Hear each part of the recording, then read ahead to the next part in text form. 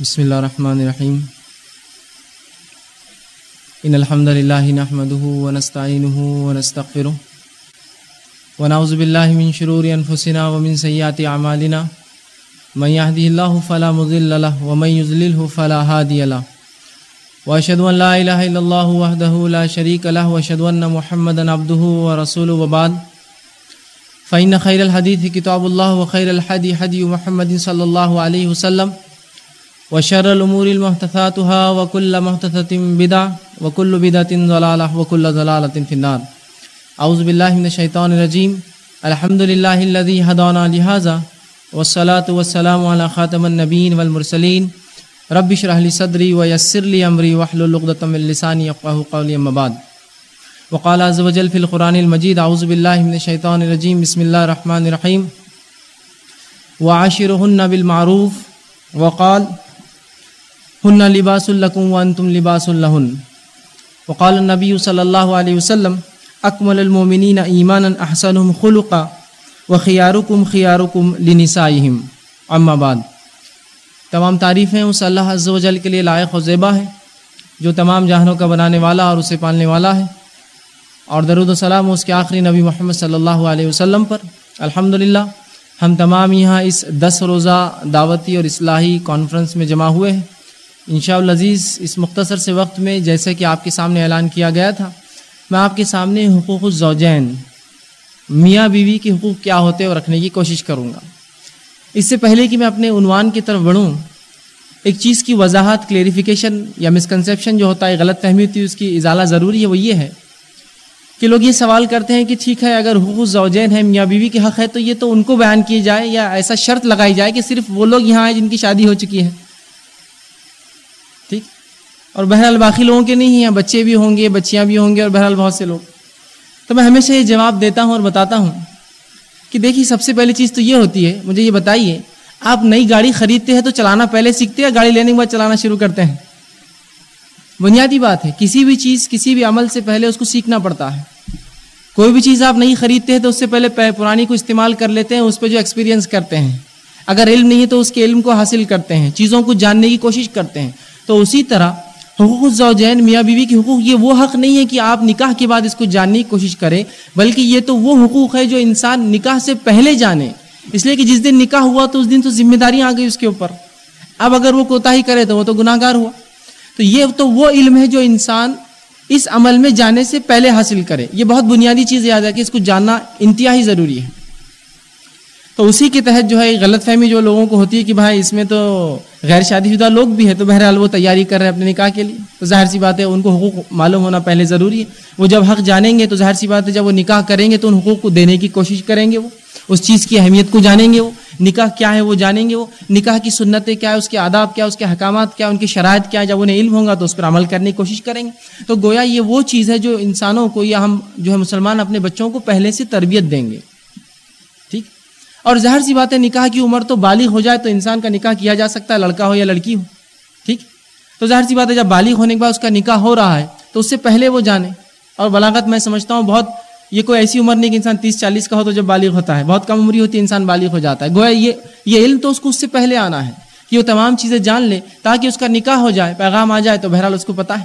ورنہ ہوتا یوں ہے کہ لوگ حقوق کیا ہے؟ میاں بیوی کی حق کیا ہے؟ نکاح ہوتا کیا ہے؟ نکاح کا معاملہ کیا ہے؟ اس کی سنت کچھ بھی نہیں جانتے ہیں۔ نکاح ہو جاتا ہے اور بس نکاح کے دن ہی بھاگتے پھرتا ہے وہ انسان۔ ہوتا ہے نا سب سی بار یہ کیا درست ہے؟ کیا وہ کیا کرنا ہے؟ کیا ایسا کیا کروں؟ کیا فلاں چیز ہونا ہے؟ کیا یہ کیا درست ہوگا اور اتنا پریشان ہوتا ہے کہ کبھی کبھار وہ نکاح کی خوشی اس کی ایک طرف ہوتی ہے۔ صرف وہ اس پریشانی میں ہوتا ہے کہ اس میں کچھ غلط کام تو مجھ سے نہیں ہو جا رہا ہے۔ تو گویا پتہ یہ چلا کہ یہ پہلے جاننا ضروری ہے۔ لیکن یقیناً میرا عنوان آج وہ نہیں ہے کہ میں آپ کو بتاؤں کہ نکاح اس کے شرائط اور وہ تفصیلات۔ انشاءاللہ وہ عنوان میرا ستاویس کہوں گا، سنت نکاح۔ آج میرا جو عنوان ہے وہ یہ ہے کہ میاں بیوی کے حق کیا ہوتے ہیں، حقوق کیا ہوتے ہیں؟ ایک دوسرے پر ان پر کیا عائد ہوتا ہے؟ کیا چیزیں ان دونوں پر واجب ہوتی ہے جب وہ دونوں ملتے ہیں؟ شریعت کے ماتے ہیں تو کیا چیزیں ہوتی ہیں جو عورت کے مرد کے لیے ضروری ہے کہ عورت وہ حق ادا کرے؟ اور کیا وہ باتیں ہیں جو مرد کے لیے جاننا ضروری ہے کہ عورت کے وہ حق ہے تاکہ جب یہ دونوں معاملے واضح ہو دونوں کو اپنے اپنے حق کا علم ہو، تو انشاءاللہ عزیز، ایک خوشگوار، ایک اچھی زندگی انسان گزار سکتا ہے۔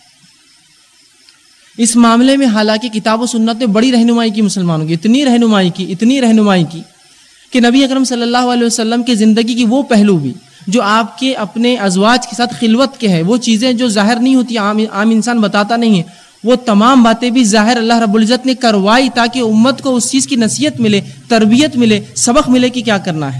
تو سبحان اللہ اللہ کے رسول صلی اللہ علیہ وسلم جو سب سے پاکیزہ شخصیت ہے دنیا میں، اس کی زندگی کے وہ حالات بھی ہمارے سامنے رکھے گئے تاکہ اس میں بھی ہمارے رہنمائی ہوں، جن حالات کو ہم عموماً ایک دوسرے سے بات کرنا پسند نہیں کرتے ہیں۔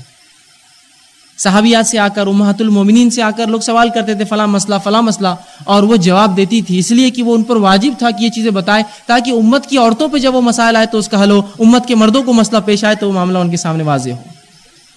تو یہ اللہ رب العزت کا بڑا کرم رہا اس امت کے اوپر، کہ اس نے تمام باتیں ہمارے سامنے واضح کر دی۔ چاہے نکاح نکاح کے مسائل، اس کے بعد کی تمام چیزیں اور میاں بیوی کے حق سب کر دیے۔ لیکن یہ ہم کہیں گے یہ ہماری بد نصیبی ہے کہ ہم لوگوں نے وہ حق نہ جانے، نہ اس کو سمجھا، نہ اس کو ادا کرنے کی کوشش کی، جس کا نتیجہ یہ ہوتا ہے یا یہ ہو رہا ہے یا یہ ہوا ہے ماضی میں پاسٹ میں یہ ہوا ہے، کہ اتنے مسائل آئے ہیں اس امت کے سامنے اور لوگوں کو یہ لگا کہ اس کا حل یہاں نہیں ہے۔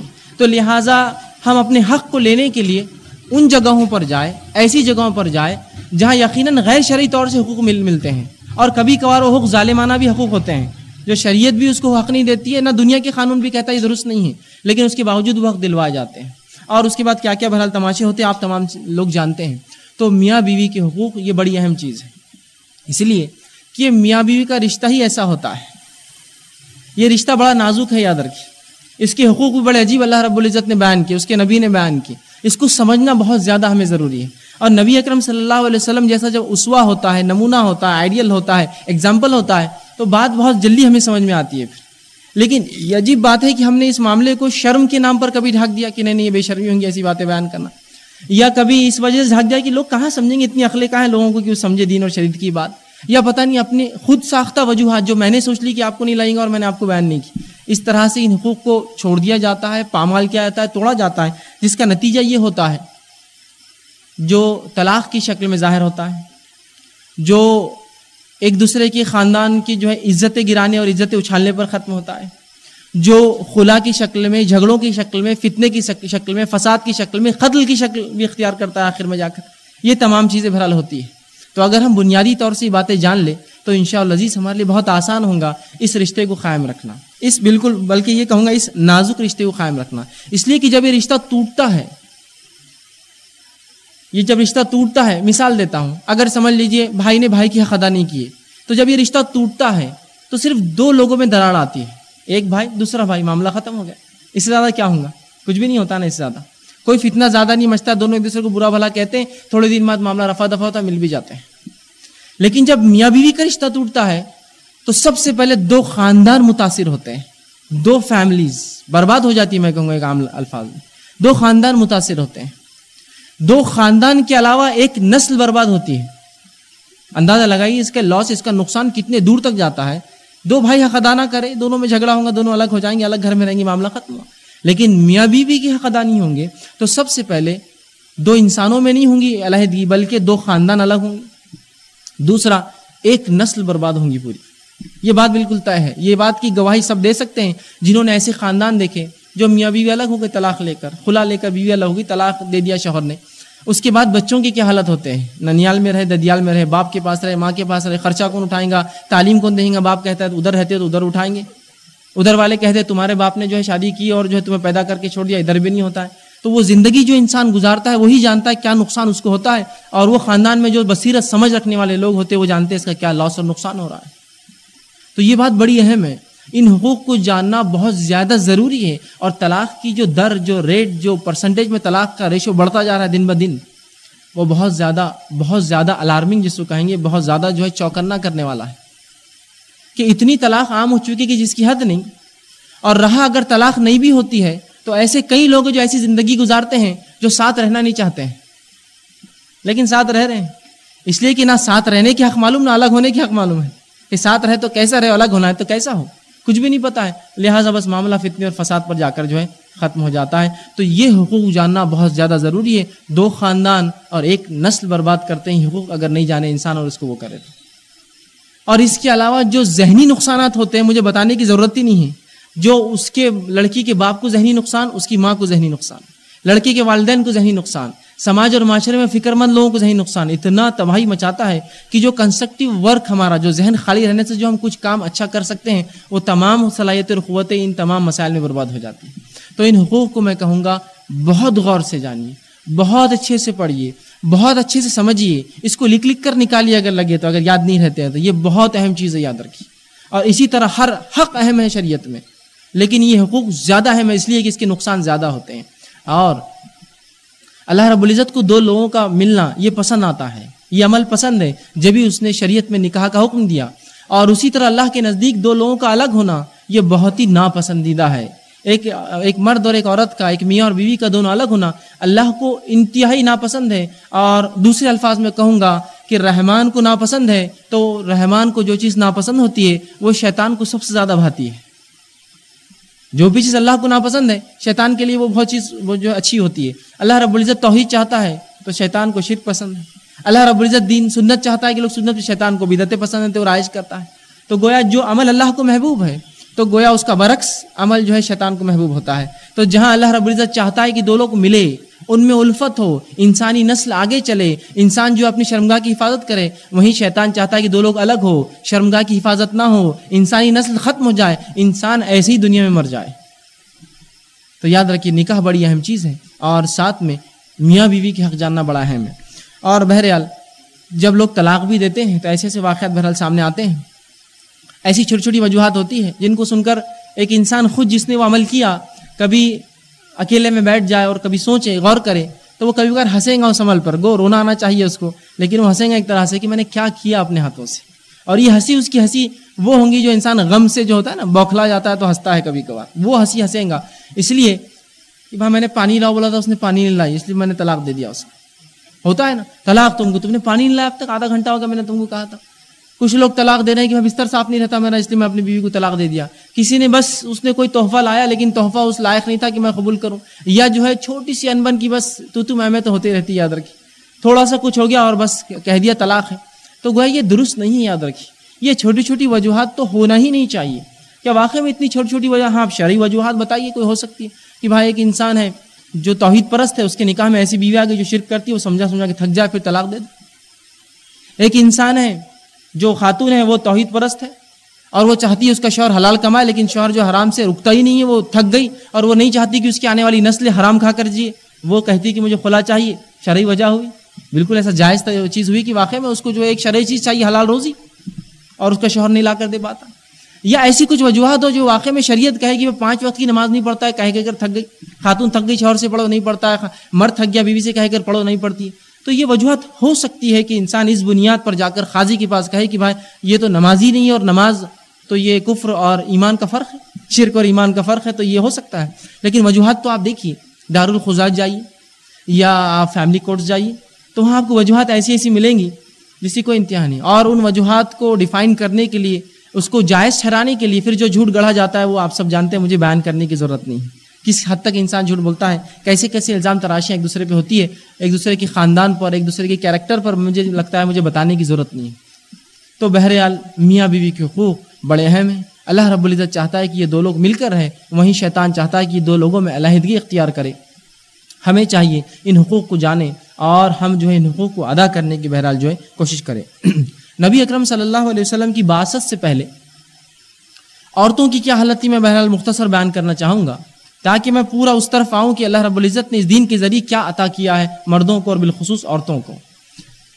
شریعت اسلامیہ سے پہلے عورتوں کی جو حالت تھی وہ یہ تھی کہ ان کا معاملہ یہ تھا کہ یہ یا تو ایک غلام سمجھی جاتی، یا تو ایک نوکر جیسا اس کا معاملہ تھا، یا تو بہرحال ایک استعمال کی چیز تھی، یا پھر آخر اس کے حقوق جانوروں سے گئے گزرے تھے۔ یہ حال تھا عورتوں کا۔ آپ صلی اللہ علیہ وسلم جب آئے تو عرب کے کچھ قبائل ایسے بھی تھے جو اپنی لڑکیوں کو دفن کرتے تھے وہ سب نہیں کرتے لیکن ایسے قبائل بھی موجود تھے جو لڑکیوں کو دفن کر دیتے تھے۔ اگر کوئی شخص مر جاتا تو اس کی بیٹیوں کو صرف یہ آس دیتے، اس یتیم لڑکی کو کہ ہم تمہارا اچھا نکاح کریں گے اور اس کی وراثت نہ جائے بول کے اس کا کبھی زندگی بھر نکاح ہی نہیں کرتے۔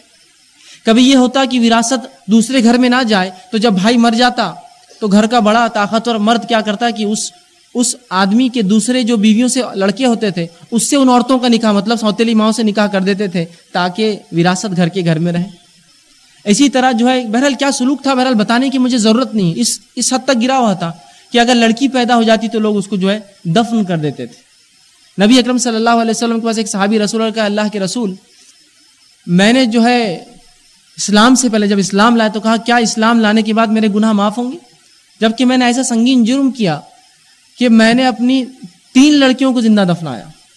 ایک نہیں، دو نہیں، تین لڑکیوں کو۔ اس لیے کہ ان کے نزدیک اگر کوئی یہ کہے کہ اسے داماد ہے تو شرم کی بات تھی۔ داماد ہے مطلب لڑکی لڑکی مطلب یہ تو بالکل بیکار آدمی ہے۔ یہ تو سوسائٹی میں گرا ہوا شخص ہے۔ یہ تو ادنا ہے، بدتر ہے، یہ بالکل کچھ بھی نہیں ہے۔ تو لوگوں کو شرم آتی، داماد ہے بولنا۔ اس لیے بیٹی کو پیدا ہوتے ہی دفن کر دیتے۔ زندہ دفنا دیا جاتا تھا۔ تو یاد رکھیے، بہت بہت جو ہے ہم کہیں گے، بہت بڑا ظلم ہے۔ اور یہ ہر انسان نہیں کر سکتا ہے، سوائے اس کے کہ سماج اتنا پریشر ڈالے، اتنا بوجھ ڈالے کہ انسان مجبور ہو یہ عمل کرنے تو اس زمانے میں اسلام جو آیا، نبی اکرم صلی اللہ علیہ وسلم کی باست ہوئی اور آپ نے جو ہے عورتوں کے ان کے حقوق دلوائے۔ بلکہ اگر کوئی شخص اسلام کی تعلیمات کو جو ہے پڑھے، تو وہ دیکھیں گا کہ نبی اکرم صلی اللہ علیہ وسلم کی تعلیمات کا اگر نچوڑ نکالے تو یہ تھا، عورتوں کی عزت اور عظمت جو ہے شریعت نے دی۔ گویا انسانیت کے آدھے طبقے کو عزت دلائی شریعت نے۔ جو جانور سمجھا جاتا یا اس سے بھی بدتر۔ اور یہ عربوں کی ہی صرف عورتوں کی حالت نہیں تھی عربوں میں، بلکہ ہندوستان میں کیا حالت ہے مجھے بیان کرنے کی ضرورت نہیں۔ برٹشرز کے قانون بنانے سے پہلے، اٹھارہ سو انچالیس سے پہلے یہاں کی عورتوں کا بھی کیا حال تھا؟ جب انسان مر جاتا، تو یہ ایک عورت کے لیے خوش نصیبی تھی کہ وہ جو ہے اس کے ساتھ جل جائے۔ تو یہاں بھی کوئی بہترین حق نہیں تھے اس کے۔ اسی طرح یونان میں بھی عورتوں کے کچھ خاص حق نہیں تھے، سوائے اس کے کہ اگر کوئی مرد کسی کا قتل کر دے، تو اس کے بدلے اس کی عورت کو قتل کر دیا جاتا، اس کی بیوی کو مار دیا جاتا۔ عجیب قانون ہے نا؟ عقل میں نہیں آتا، قتل کروں میں اور مارا جائے میری بیوی کو میں اس کے بدلے مار دوں۔ اس لیے کہ آدمی کو قتل نہیں کیا جا سکتا، عورت اس کی جو ہے ریپلیسمنٹ ہوں گی، وہ بلی دے دیں گے اس کے بدلے اور اس کی بیوی کو قتل کر دیا جاتا۔ یہ حالت تھی۔ اس دور میں اسلام آیا اور اس نے خاتون کو حق دیا۔ ایسا حق دیا کہ جس کے تعلق سے تصور کرنا محال ہے۔ اس دور جہالت کو دیکھے، پھر ان حقوق کو دیکھے۔ تو پھر آج کے دور کی خواتین یہ کہیں گی کہ الحمد جتنا سکون اور اطمینان یہ شریعت نے دیا شاید ہم نہیں پاتے یہ سکون اطمینان اگر کسی اور مذہب میں، کسی اور جگہ، کسی علاقے میں پیدا ہوئے۔ تھے اتنا اس شریعت نے ہم کو دیا ہے، یاد رکھیں اور نہ صرف عورتوں کو دیا، ہم کو بھی تو دیا۔ یہی عورت ہماری ماں کے شکل میں بھی تو ہے۔ یہی عورت ہمارے بیوی کی شکل میں بھی تو ہے۔ یہی عورت ہماری بیٹی کی شکل میں بھی تو ہے۔ تو حق تو مجھے بھی دیا اس شریعت نے، صرف عورتوں کو کہاں دیا؟ میرا بھی تو بینیفٹ ہوا اس کے اندر۔ کہ میں آج ماں کی عزت اور تعظیم کرتا ہوں اس لیے کہ شریعت نے وہ حق دیا۔ اگر نہ دیتا تو اگر میں چاہتا بھی تو اپنی ماں کے ساتھ وہی برا سلوک کرتا جو سماج کرتا۔ بلکہ نبی اکرم صلی اللہ علیہ وسلم کے زمانے میں جب ایک خاصد رسول اکرم صلی اللہ علیہ وسلم سے ملاقات کے لیے جو ہے فارس سے آیا، جو فارسی تھا، مجوسی تھا، جب وہ آیا ایک احکام لکھے کہ تم کو جو خسرو نے بلایا ہے، تمہاری گرفتاری کا وارنٹ نکلا ہے، اس لیے کہ تم ہم کو دعوت دے رہے ہو اسلام کی۔ تم جہل اور بدو لوگ، جن پر ہم نے حکومت کیا آج ہم کو بتاؤں گے دین و شرد اسلام کیا ہے۔ لہٰذا تمہاری گرفتاری کا وارنٹ ہے نبی اکرم صلی اللہ علیہ وسلم کو وہی ہوئی اور آپ کو بتایا گیا کہ وہ بادشاہ مر چکا ہے، جس نے وارنٹ دیا تھا۔ اور اس کے مرنے کی وجہ یہ تھی کہ اس کے بھتیجے نے اسے قتل کیا تھا۔ وجہ یہ تھی کہ اس زمانے کا جو ان کا مذہب تھا، اس میں یہ تھا کہ کسی بھی خاتون سے اگر انسان کو خواہش ہو جائے کہ اس سے میں جو ہے اپنی خواہش پوری کروں، تو اس کو نہ نہیں کہا جا سکتا تھا۔ اور اس بھتیجے کی جو ماں تھی اس کے ساتھ ایک وزیر نے کہا تھا، اس بادشاہ کو، بادشاہ، میں اس کے ساتھ جو ہے منہ کالا کرنا چاہتا ہوں۔ اور اس بادشاہ نے کہا، چونکہ وقت کا قانون وہی تھا، اس نے دے دیا۔ اس لڑکے کو بہت بری بات لگی تھی کہ میرے ماں کے ساتھ یہ سلوک ہوا۔ اور اس نے کیا کیا؟ اپنے چچا کو قتل کر دیا اور خود بادشاہ بن گیا۔ تو یہ حالت تھی یاد رکھی قوموں کی کہ اس طرح سے عورتوں کے ساتھ سلوک ہوتا تھا۔ تو گویا وہ ایک زہر جو بھی ہوں گا، اس کا مذہب کچھ نہ کچھ تو اس کے دل میں بات تھی اپنی ماں کی طرف۔ تو شریعت نے نہ صرف عورتوں کو اونچا کیا، ہمیں بھی اونچا کیا کہ ہمیں وہ حق دیے۔ کہ ہم ان کو وہ حق دے سکیں۔ تو شریعت نے عورتوں کو بہت ابھارا، ان کے حقوق کو بہت اونچا کیا اور ان کے ایسے حق دیے۔ اور شریعت کی خصوصیت ہے، جس کو جو چاہیے شریعت وہی دیتی ہے ادر کی۔ ایک دم سادی مثال دوں گا بات سمجھنے کے لیے۔ اگر ایک بلب ہے، اس کو چار سو ویٹ چاہیے تو شریعت کہتی ہے چار سو دو، اس کو چھ سو نہ دو، یہ خراب ہوگا اس سے کم دیں گے بھی تو یہ خراب ہو جائیں گے۔ کسی چیز کو اتنی طاقت چاہیے تو اتنی ہی دو۔ تو اسی طرح شریعت نے ان کے بھی حق دیے اور ان کے بھی حق دیے، مرد اور عورتوں کے، دونوں کے ویسے دیے۔ جیسے ہونا چاہیے تھا، اس کی حکمت سے دیے۔ ہماری سوچ کے مطابق ہوتے تو پھر ہم جو ہے ان کو ذلیل کر دیتے اور اپنے آپ کو بھی ذلیل کر، حکمت کے ساتھ دیے۔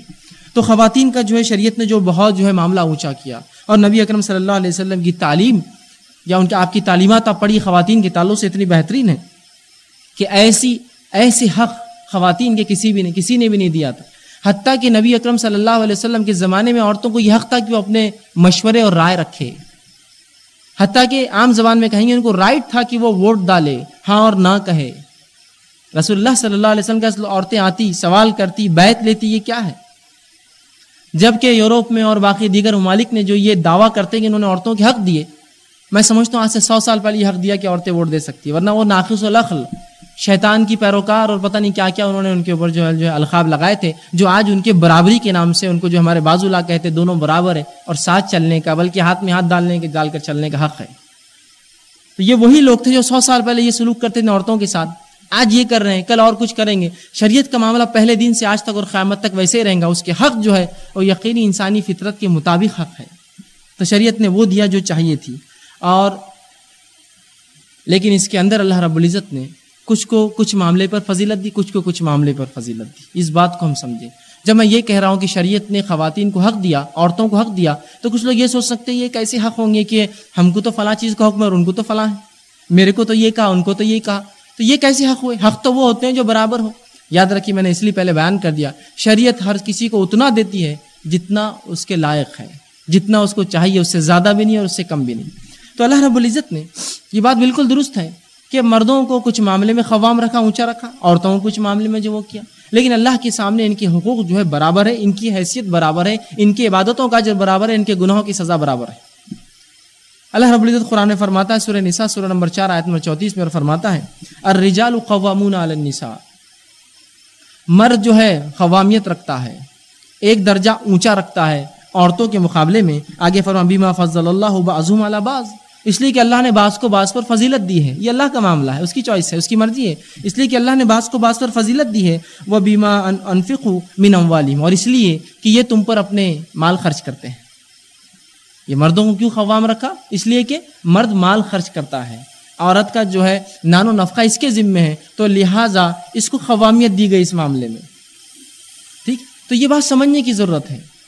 کہ شریعت نے حق برابر دیے، لیکن جس کو جو چاہیے تھا وہ دیا اور جس کو جس فیلڈ میں آگے بڑھانا تھا وہاں بڑھا، جس کو جس فیلڈ میں پیچھے رکھنا تھا وہاں رکھا۔ سیدھی سی بات۔ بہت سے لوگ یہ سوال کرتے ہیں کیسی عجیب بات ہے، اگر شریعت اسلامیہ اگر انصاف کی بات کرتی ہے، عدل کی بات کرتی ہے، تو پھر عورتوں اور مردوں کا معاملہ برابر ہونا چاہیے۔ نماز میں تو آپ آگے کھڑے ہوتے ہیں، عورتیں پیچھے ہوتی ہیں۔ غیر مسلم ایسا سوچتے ہیں۔ لیکن سیدھی سی بات ہے، جب میں گاڑی چلاتا ہوں تو خود آگے بڑھتا ہوں، بیوی کو پیچھے بٹھاتا ہوں۔ کہیں ایسا ہوتا ہے کوئی مجھے پریشانی یا ڈر لاحق ہو تو میں خود آگے چلتا ہوں، بیوی کو پیچھے رکھتا ہوں۔ یہ تھوڑی کا بازو چلو میرے، ہم دونوں برابر ہیں۔ کہ تو یہاں مجھے اللہ رب العزت نے جسمانی اعتبار سے مضبوط بنایا ہے، میں آگے رہوں گا۔ جہاں ان کا معاملہ ہوگا ظاہر سی بات ہے وہ آگے رہیں گے۔ اگر کوئی مہمان آ جائے اور میں بورچہ خانے میں جاؤں تو ظاہر سی بات ہے فیل ہو جاؤں گا بہت جلدی۔ وہ کہیں گے، آپ آپ ادھر جائیے، میں یہ سنبھالتی یہ ان کی فیلڈ ہے۔ سمجھ رہے ہیں آپ بات؟ تو یہاں کسی معاملے میں کسی کو قوامیت دی ہے، اللہ رب العزت نے یہ جو ہے ان کے فضل اس لیے کہ یہ جو ہے کما کر لاتے ہیں۔ تو اللہ رب العزت نے مردوں کو جو فضیلت دی، اس کی وجہ یہ بتائی کہ یہ جو مرد جو ہے، یہ کما کر لاتے ہیں۔ اور اللہ نے بعض کو بعض پر جو ہے فضیلت دے رکھی ہے۔ اسی طرح، یہ فضیلت کی وجہ جو ہمیں سمجھ میں آتی وہ یہ ہے، ایک تو جسمانی اور ذہنی۔ جسمانی اور ذہنی جو ہے، ایک فضیلت یہ ہے مردوں کی، عورتوں کے اوپر، کہ جسمانی طور سے مضبوط ہوتے ہیں، اور خواتین کے مقابلے میں۔ اور ظاہر سی بات ہے دوسری ذہنی اعتبار سے جو ہے، یہ جو ہے مکمل ہوتا ہے، اس اعتبار سے میں نے کہہ رہا ہوں کہ عورتیں ناقص الخل ہے اور مرد مکمل ہے بتانے کا مقصد یہ ہے کہ جو ہے سائیکلوجیکلی عورتیں جو ہے ویک ہوتی اس اس لحاظ سے کہ بہت جلدی متاثر ہو جاتی ہے کسی سے بھی۔ مردوں کا معاملہ اس کے برعکس ہوتا ہے، سوچتے ہیں، سمجھتے ہیں، حالات کو جانچتے ہیں اور پھر متاثر ہوتے ہیں۔ تو اللہ رب العزت نے ان کو مضبوط بنایا مردوں کا، اسی لیے عورتوں کا ان کے ماتحت اور ان کے مشورے لو اس لیے کہ زیادہ جانتے ہیں، تم لوگ بہت جلدی متاثر ہو جاتی ہو بہت جلدی جو ہے، جس کو کہیں گے ہم احساسات کے اندر بہ پڑتی ہو ٹھیک؟ اسی طرح دوسرا یہ کہ مرد کما کر لاتا ہے اسی لیے اس کو قوامیت دی گئی۔ وہ ارنر ہے، وہ روٹی لے کر آتا ہے، وہ رسک جو ہے جمع کرتا ہے، اللہ نے جو دیا ہے، اس وجہ سے اللہ رب العزت نے اس کو ایک پر دوسرے کی فضیلت دی، یاد رکھی۔ ٹھیک؟ اسی طرح نبی اکرم صلی اللہ علیہ وسلم فرماتے ہیں، مردوں کی فضیلت کے تعلق سے جو مردوں کی جو شوہر کی جو آتی ہے، وہ یہ ہے کہ اگر میں مجھے حق ہوتا کہ کسی کو سجدہ کرنے کا حکم دوں، سجدہ تعظیمی جو ہوتا ہے۔ تعظیمی سجدہ جو کسی کے سامنے انسان جھکتا ہے، یاد رکھے شریعت میں حرام ہے۔ پچھلی شریعتوں میں بہرحال اس کا، اس کے تعلق سے اس کا جواز تھا، جیسا کہ اللہ رب العزت نے جو فرشتوں کو حکم دیا آدم کے سامنے جھکنے کا، اور جو ہے یوسف علیہ السلام کے سامنے جو ان کے بھائیوں کا جھکنا۔ یہ پچھلی شریعت کا معاملہ تھا۔ اس شریعت میں آپ صلی اللہ علیہ وسلم فرماتے اگر مجھے حق ہوتا کہ کسی کو کسی کے لیے سجدہ کرنے کا حکم دوں، تو میں عورت کو حق دے، حکم دیتا۔ بیوی کو حکم دیتا کہ شوہر کے سامنے سجدہ کرے، لیکن اس کی بھی اجازت مجھے نہیں ملی ہے۔ گویا پتہ چلا سجدہ تعزیب اس امت میں کسی کے لیے بھی نہیں۔ اور یہ واقعے کی وجہ یہ تھی کہ کچھ صحابہ بالخصوص سلمان فارسی رضی اللہ عنہ یہ روم جا کر آئے۔ جب روم گئے تو انہوں نے دیکھا لوگ ان کے بادشاہ کے سامنے جھکتے ہیں۔ تو جب یہ رسول اللہ کے پاس آئے تو کہا، نبی تو زیادہ حق رکھتا ہے بادشاہوں کے مقابلے میں جھکنے کا۔ آپ جھکے تو رسول نے کہا، یہ کیا کر رہے ہو؟ تو کہا، اللہ کے رسول وہ فارس کے اور جو ہے روم کے بادشاہوں کے سامنے لوگ جھکتے ہیں، آپ زیادہ حقدار ہے تو کہا، نہیں۔ اگر حق ہوتا مجھے کسی کو دینے کا حکم سجدہ تعظیمی کا، تو میں بیوی کو حکم دیتا کہ شوہر کے سامنے کرے، لیکن اس کی بھی مجھے اجازت نہیں دی گئی۔ تو پتہ چلا مردوں کے حق میں بتانا چاہ رہا ہوں کہ قوامیت کیوں دی گئی؟ اس لیے کہ یہ کما کر لاتے ہیں۔ اس لیے کہ جو ہے ذہنی اور جسمانی اعتبار سے جو ہے طاقت رکھتے ہیں۔ ٹھیک؟ لیکن یہ بات بالکل نہیں ہے کہ اللہ رب العزت نے عورتوں پر ظلم کیا یہ کر کے۔ دیکھیے، کسی کو کچھ ذمہ داریاں، کسی کو ذمہ داری۔ کیوں میں آگے انشاءاللہ دھیرے دھیرے آتا جاؤں گا؟ کیوں اللہ رب العزت نے ایسا ہی کیا؟ ٹھیک؟ لیکن یہ بات یاد رکھیے دونوں کو کسی عمل کرنے کا اجر برابر ہے اور دونوں کو کسی گناہ کرنے کی سزا برابر ہے۔ ایک مرتبہ یوں ہوا، ام سلمہ رضی اللہ عنہ جب یہ اللہ کے رسول صلی اللہ علیہ وسلم کی نکاح میں آئی تو آپ نے ایک بار سوال کیا اللہ کے رسول، یہ آپ لوگ جو مرد ہیں، آپ جہاد میں جاتے ہیں، آپ کو شہادتیں ملتی ہیں اور شہید کے درجے کیا بہرحال سب جانتے تھے؟ ہم عورتوں کا کیا معاملہ پھر؟ ہم تو نہ جہاد میں جا سکتی اس لیے کہ ہمیں شوہر کی اجازت ضروری ہے، فلاں ہے، اور نہ ہی ہم کو شہادت کا درجہ ملے گا۔ پھر کیا معاملہ ہوگا ہمارا؟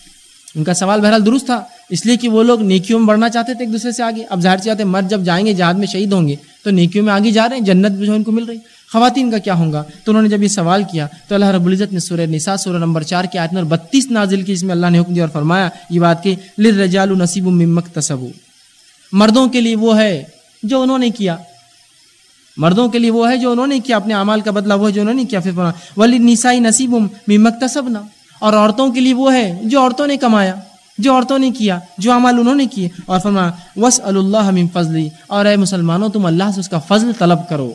تو یہ آیت نے یہ بتایا کہ اللہ نے جس کو جو کام دیا ہے، اس سے اس کی پوچھ کریں گا۔ تو مردوں کو اگر قوامیت دی ہے، جسمانی اعتبار سے مضبوط بنایا ہے، تو انہیں جہاد کا حکم دیا، ان سے اس کا سوال ہوگا لیکن عورتوں کو چونکہ یہ کام کے لیے نہیں رکھا، لہٰذا ان سے اس کے علاوہ سوال ہوگا سمجھ رہے بات دونوں کے اعمال جیسے کریں گے، اس کے مطابق ان کا فیصلہ ہوگا۔ تو جو انہوں نے کمایا ان کے لیے، جو انہوں نے کمایا ان کے لیے، جو مردوں نے کمایا مردوں کے لیے، جو عورتوں نے کمایا اعمال کے اعتبار عورتوں۔ مطلب جس کو جس کام کا حکم دی گیا، وہ وہ کام کرے۔ اگر وہ کریں گا تو اس کے بھی درجات بلند ہوں گے۔ اللہ رب العزت اس کو اس کی پوچھ کریں گا اور اس کے مطابق اس کو بھی اجر دیا جائے گا، یاد رکھیے۔ تو پتہ چلا کہ کسی معاملے میں ان کی فضیلت ہے، کسی معاملے میں ان کی فوقیت ہے۔ لیکن بہرحال بالآخر دونوں کے حقوق جو ہے برابر ہے اب بہرحال عورتوں کے جب ہم حقوق کی بات کریں گے، تو اس سے پہلے کچھ اور باتیں، کچھ اور نکات آپ کے سامنے رکھوں گا کہ کیا چیزوں کا ہم لحاظ رکھیں۔ اور اس کے بعد انشاءاللہ پھر شوہر کے اور بیوی کے حقوق آپ کے سامنے مختصر جو ہے، تین تین نکات میں میں نے بس پورے حقوق رکھے ہیں، آپ کے سامنے رکھنے کی کوشش کروں گا۔ سب سے پہلی چیز تو یہ کہ اگر ہم ایک خوشگوار زندگی گزارنا چاہتے ہیں، دو لوگ جب نکاح کرتے ہیں، دو لوگ جب ملتے ہیں اور ایک خوشگوار زندگی گزارنا چاہتے ہیں، تو اس خوشگوار زندگی گزارنے کچھ اصول ہونا چاہیے۔ جن کے اندر سب سے پہلی چیز جو ہم دھیان میں رکھیں گے وہ یہ ہے کہ جس کو حسن معاشرت کہا جاتا ہے کہ جب دو لوگ شریعت کے مطابق ایک دوسرے سے ملتے ہیں تو وہ ایک اچھی زندگی بسر کرے، اس کو کہتے ہیں حسن معاشرت، اچھی زندگی بسر کرنا۔ تو اس حسن معاشرت، اچھی زندگی بسر کرنے کے لیے تین باتوں کو ہم کو یاد رکھنا ہوگا۔ پہلی چیز تو یہ کہ جب دو لوگ ملیں گے آپس میں، تو وہ جو ہے تفریح اور دل بستگی کے جو ہے موقع ایک دوسرے کو فراہم کرنے۔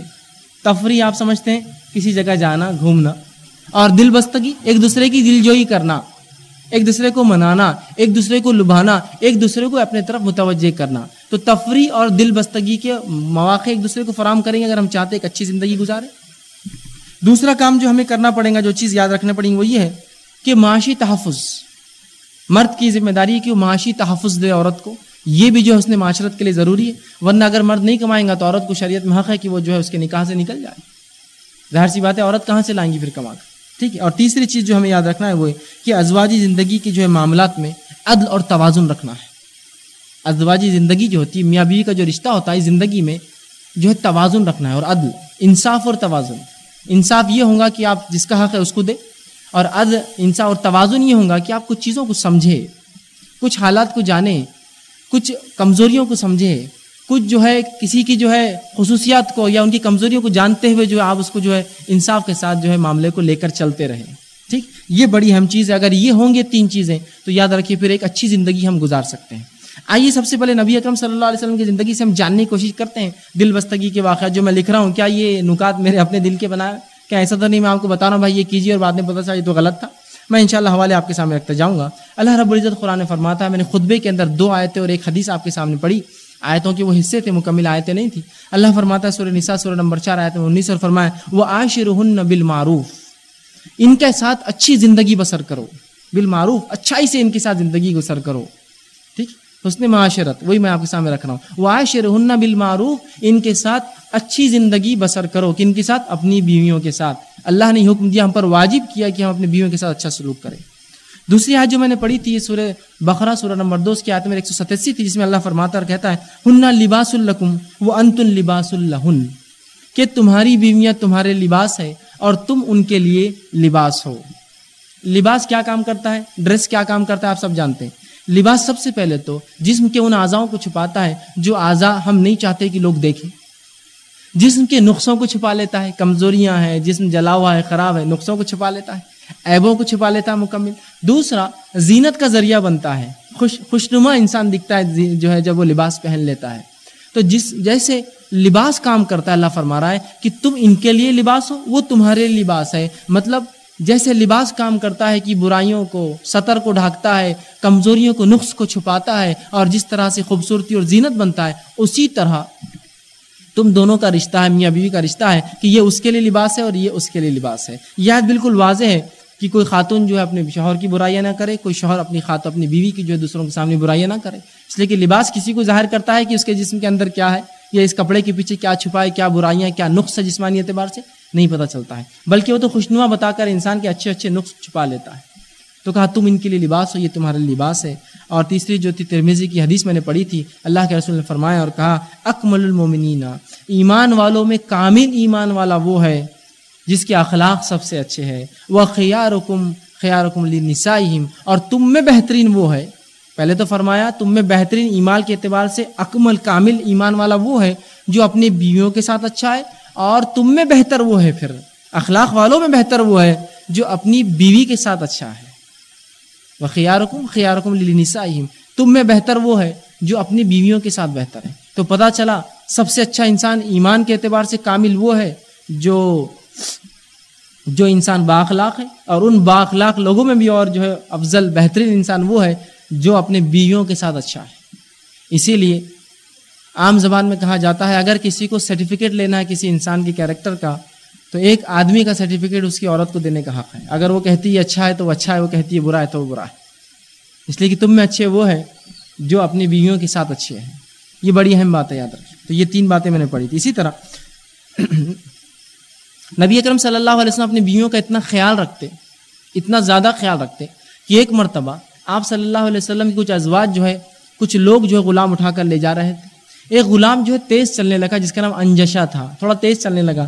تو نبی اکرم صلی اللہ علیہ وسلم نے کہا، ہائے افسوس انجشا، شیشے جیسی نازک عورتوں کے ساتھ تم یہ سلوک کر رہے ہو؟ بھاگ رہے ہو لے کر اس جو ہے، اس کو ایسا بھاگو گے تو ظاہر سی بات ہے، عورتیں نازک ہوتی ہے کچھ نقصان ہو جائیں گا۔ تو کہا، افسوس انجشا، تمہیں اتنا بھی نہیں سمجھ میں آیا کہ شیشے جیسی نازک عورتوں کے ساتھ یہ سلوک نہیں کرنا چاہیے؟ تو گویا جس شریعت نے عورتوں کے ساتھ اگر سواری تیز لے جانا جس سے انہوں کچھ نقصان ہو سکتا ہے، اس سے منع کیا، تو وہ شریعت ان کو مارنے کا، ظلم کرنے کا، قتل کرنے کا، جلانے کا، ان کے حق نہ دینے کا حکم کیسا دے؟ کتنی سیدھی بات ہے۔ اگر لے کر چلو سیدھا، تو اس سے بڑی کیا چیز ہوتی فزیکل سینس میں کہ اٹھا کر لے جا رہے تھے، تیز چلے۔ تو کہ افسوس انجشا تم کو اتنی عقل نہیں آئی کہ شیشے جیسے نازک عورتوں کو ایسا لے کر بھاگتے۔ اس کو ہلو کرو، دھیرے چلو اس معاملے۔ میں وہ دھیرے ہو گئے اور پھر دھیرے لے کر چلنے لگے۔ تو اتنی رسول اللہ صلی اللہ علیہ وسلم نے اس معاملے میں جو وہ کی۔ اسی طرح ازدواجی زندگی ہمیں اگر گزارنا ہے، ایک اچھی میرڈ لائف شادی شدہ زندگی انسان کو گزارنا ہے، تو اس کے معاملے میں یاد رکھیے، ایک اصول یاد رکھ لیجیے۔ یہ اصول میں دو باتیں ہیں، ایک محبت اور دوسرا اعتماد۔ یہ بہت بنیادی چیزیں یاد رکھیے، اگر ہم چاہتے ہیں کہ اس نے معاشرت سے زندگی گزارے۔ ایک یہ ہے کہ محبت، ان دو لوگوں میں محبت ہو اور اس محبت کا اظہار ہو۔ یہ وہ جگہ نہیں جہاں آپ چھپائے۔ لوگ کئی بھی محبتوں کا اظہار کرتے ہیں، جہاں اس کا جائز ہے، اس کی بیوی وہاں چھوڑ کر باقی سب جگہ اظہار کر رہا حالانکہ اکثر نو میں جواب آ رہا اس کو۔ پھر بھی وہ ادھر چانس ادھر چانس، یہ ٹرائی کر لیتے، وہ ٹرائی کر لیتے۔ اور جہاں اس کا نکاح ہوا، وہاں اظہار نہیں کرتا ہوں۔ اب یہ تو نکاح میں آئے گی، اب کیا اظہار کرو اظہار ہو اس محبت کا۔ نبی اکرم صلی اللہ علیہ وسلم اپنے ازواج سے اظہار کرتے اپنی محبت کا۔ یہ بڑی اہم چیز ہے۔ ہم محبت صرف دل میں رکھیے، درست نہیں۔ آئیے نبی اکرم صلی اللہ علیہ وسلم کو حدیث سن لیجیے اس کو غلط معنی مت لیجیے میں اس کی تشریح کر دوں گا بعد میں۔ آپ صلی اللہ علیہ وسلم نے دیکھا کہ ایک شخص جا رہا تھا ایک نوجوان اور دوسرا ایک نوجوان نے کہا اللہ کے رسول، جو رسول اللہ کے ساتھ کھڑا تھا، کہا اللہ کے رسول، بلکہ وہ صحابی نوجوان نہیں تھے۔ ایک نوجوان گزرا صحابی، ایک نوجوان صحابی اور دوسرے صحابی نے اللہ کے رسول، وہ جو نوجوان ابھی گیا ہے، میں اللہ کے لیے اس سے محبت کرتا ہوں، بڑا اچھا انسان ہو سکتا ہے اس کی جہاد، اس کے اعمال، اس کی نمازیں، اس کی زکوٰۃ، اس کے صدقات بڑے افضل ہو تو یہ صحابی کو، وہ صحابی بڑا پسند تھا۔ تو کہا میں اللہ کے لیے اس سے محبت کرتا ہوں۔ تو رسول اللہ نے کہا، کیا کبھی اظہار کیا؟ بتایا اپنے بھائی کو یہ چیز؟ کیونکہ اللہ کے رسول کبھی بتایا نہیں، بس میں دور سے دیکھتا ہوں، اس سے محبت کرتا ہوں، اللہ کے لیے خوش ہوتا ہوں اس کے اعمال کو دیکھ کر۔ تو کہا اظہار کر اپنی محبت کا جا کر۔ وہ صحابی رسول گئے، اس کے پیچھے دوڑتے دوڑتے کہا کہ دیکھو میں بھائی تمہیں، اے نوجوان، تمہیں صرف اللہ کے لیے خالص، اللہ کے لیے تم سے محبت کرتا ہوں۔ تو اس نوجوان نے پلٹا کر جواب دیا اور کہا، جا تج سے وہ محبت کرے جس کے لیے تم مجھ سے محبت کرتا ہے۔ اس نے دعا دی کہ جا تج سے وہ محبت کرے جس کے لیے تو مجھ سے محبت کرتا ہے۔ تو اللہ کے لیے محبت کرتا ہے، جا اللہ تجھ سے محبت کرے۔ اس نے دعا دی۔ تو پتہ چلا اظہار کرنا ہے۔ لیکن یہ معاملہ آپ یوں نہیں کر سکتے کہ کسی غیر محرم عورت کے سامنے اظہار کریں۔ یہ معاملہ مرد مردوں کے سامنے کریں گے۔ عورتیں عورتوں کے سامنے کریں گی کہ اللہ کے لیے آپ کا یہ عمل میرے بڑا پسند آتا ہے۔ میں محبت کرتی ہوں اس عمل کی وجہ سے آپ سے۔ یا مرد مردوں سے کہیں گی بڑا یہ عمل بڑا اچھا ہے، آپ کا اللہ کے لیے میں آپ سے اس معاملے میں محبت کرتا ہوں۔ ٹھیک؟ تو اظہار کرنا ہے اس چیز کو۔ اور نبی اکرم صلی اللہ علیہ وسلم جہاں معاملہ محبت پہ ہی ٹکا ہوا ہے، آ کر میاں کا رشتہ، یہاں تو ضروری ہے اظہار۔ اور آپ صلی اللہ علیہ وسلم اپنے ازواج سے اظہار کرتے ہیں اس چیز کا۔ لیکن اس کی بھی سلیقے اور آداب ہوں گے، یاد رکھیں۔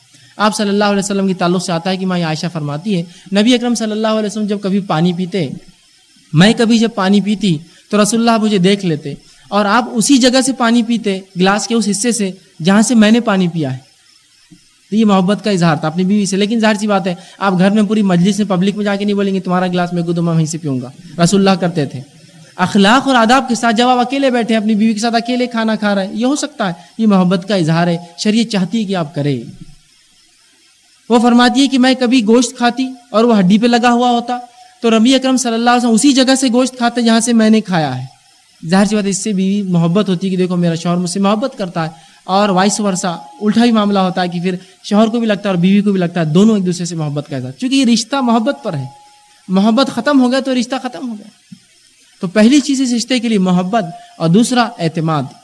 اعتماد سمجھتے نا؟ بھروسہ۔ تو مرد اور عورت دونوں خیال رکھیے، کبھی جو ہے محبت کم نہ ہو اور اعتماد ختم نہ ہو ایک دوسرے کا۔ اور اعتماد کے تعلق سے میں بالخصوص کہوں گا، اعتماد انسان زندگی میں کسی پر ایک ہی بار کرتا ہے بس۔ تو خواتین کبھی ایسا نہ ہونے دے کہ اپنے شوہر کے معاملے میں کبھی اعتماد کھوئے، یا مرد کبھی ایسا نہ ہونے دے کہ اپنے بیوی کے معاملے میں کبھی اعتماد کھوئے۔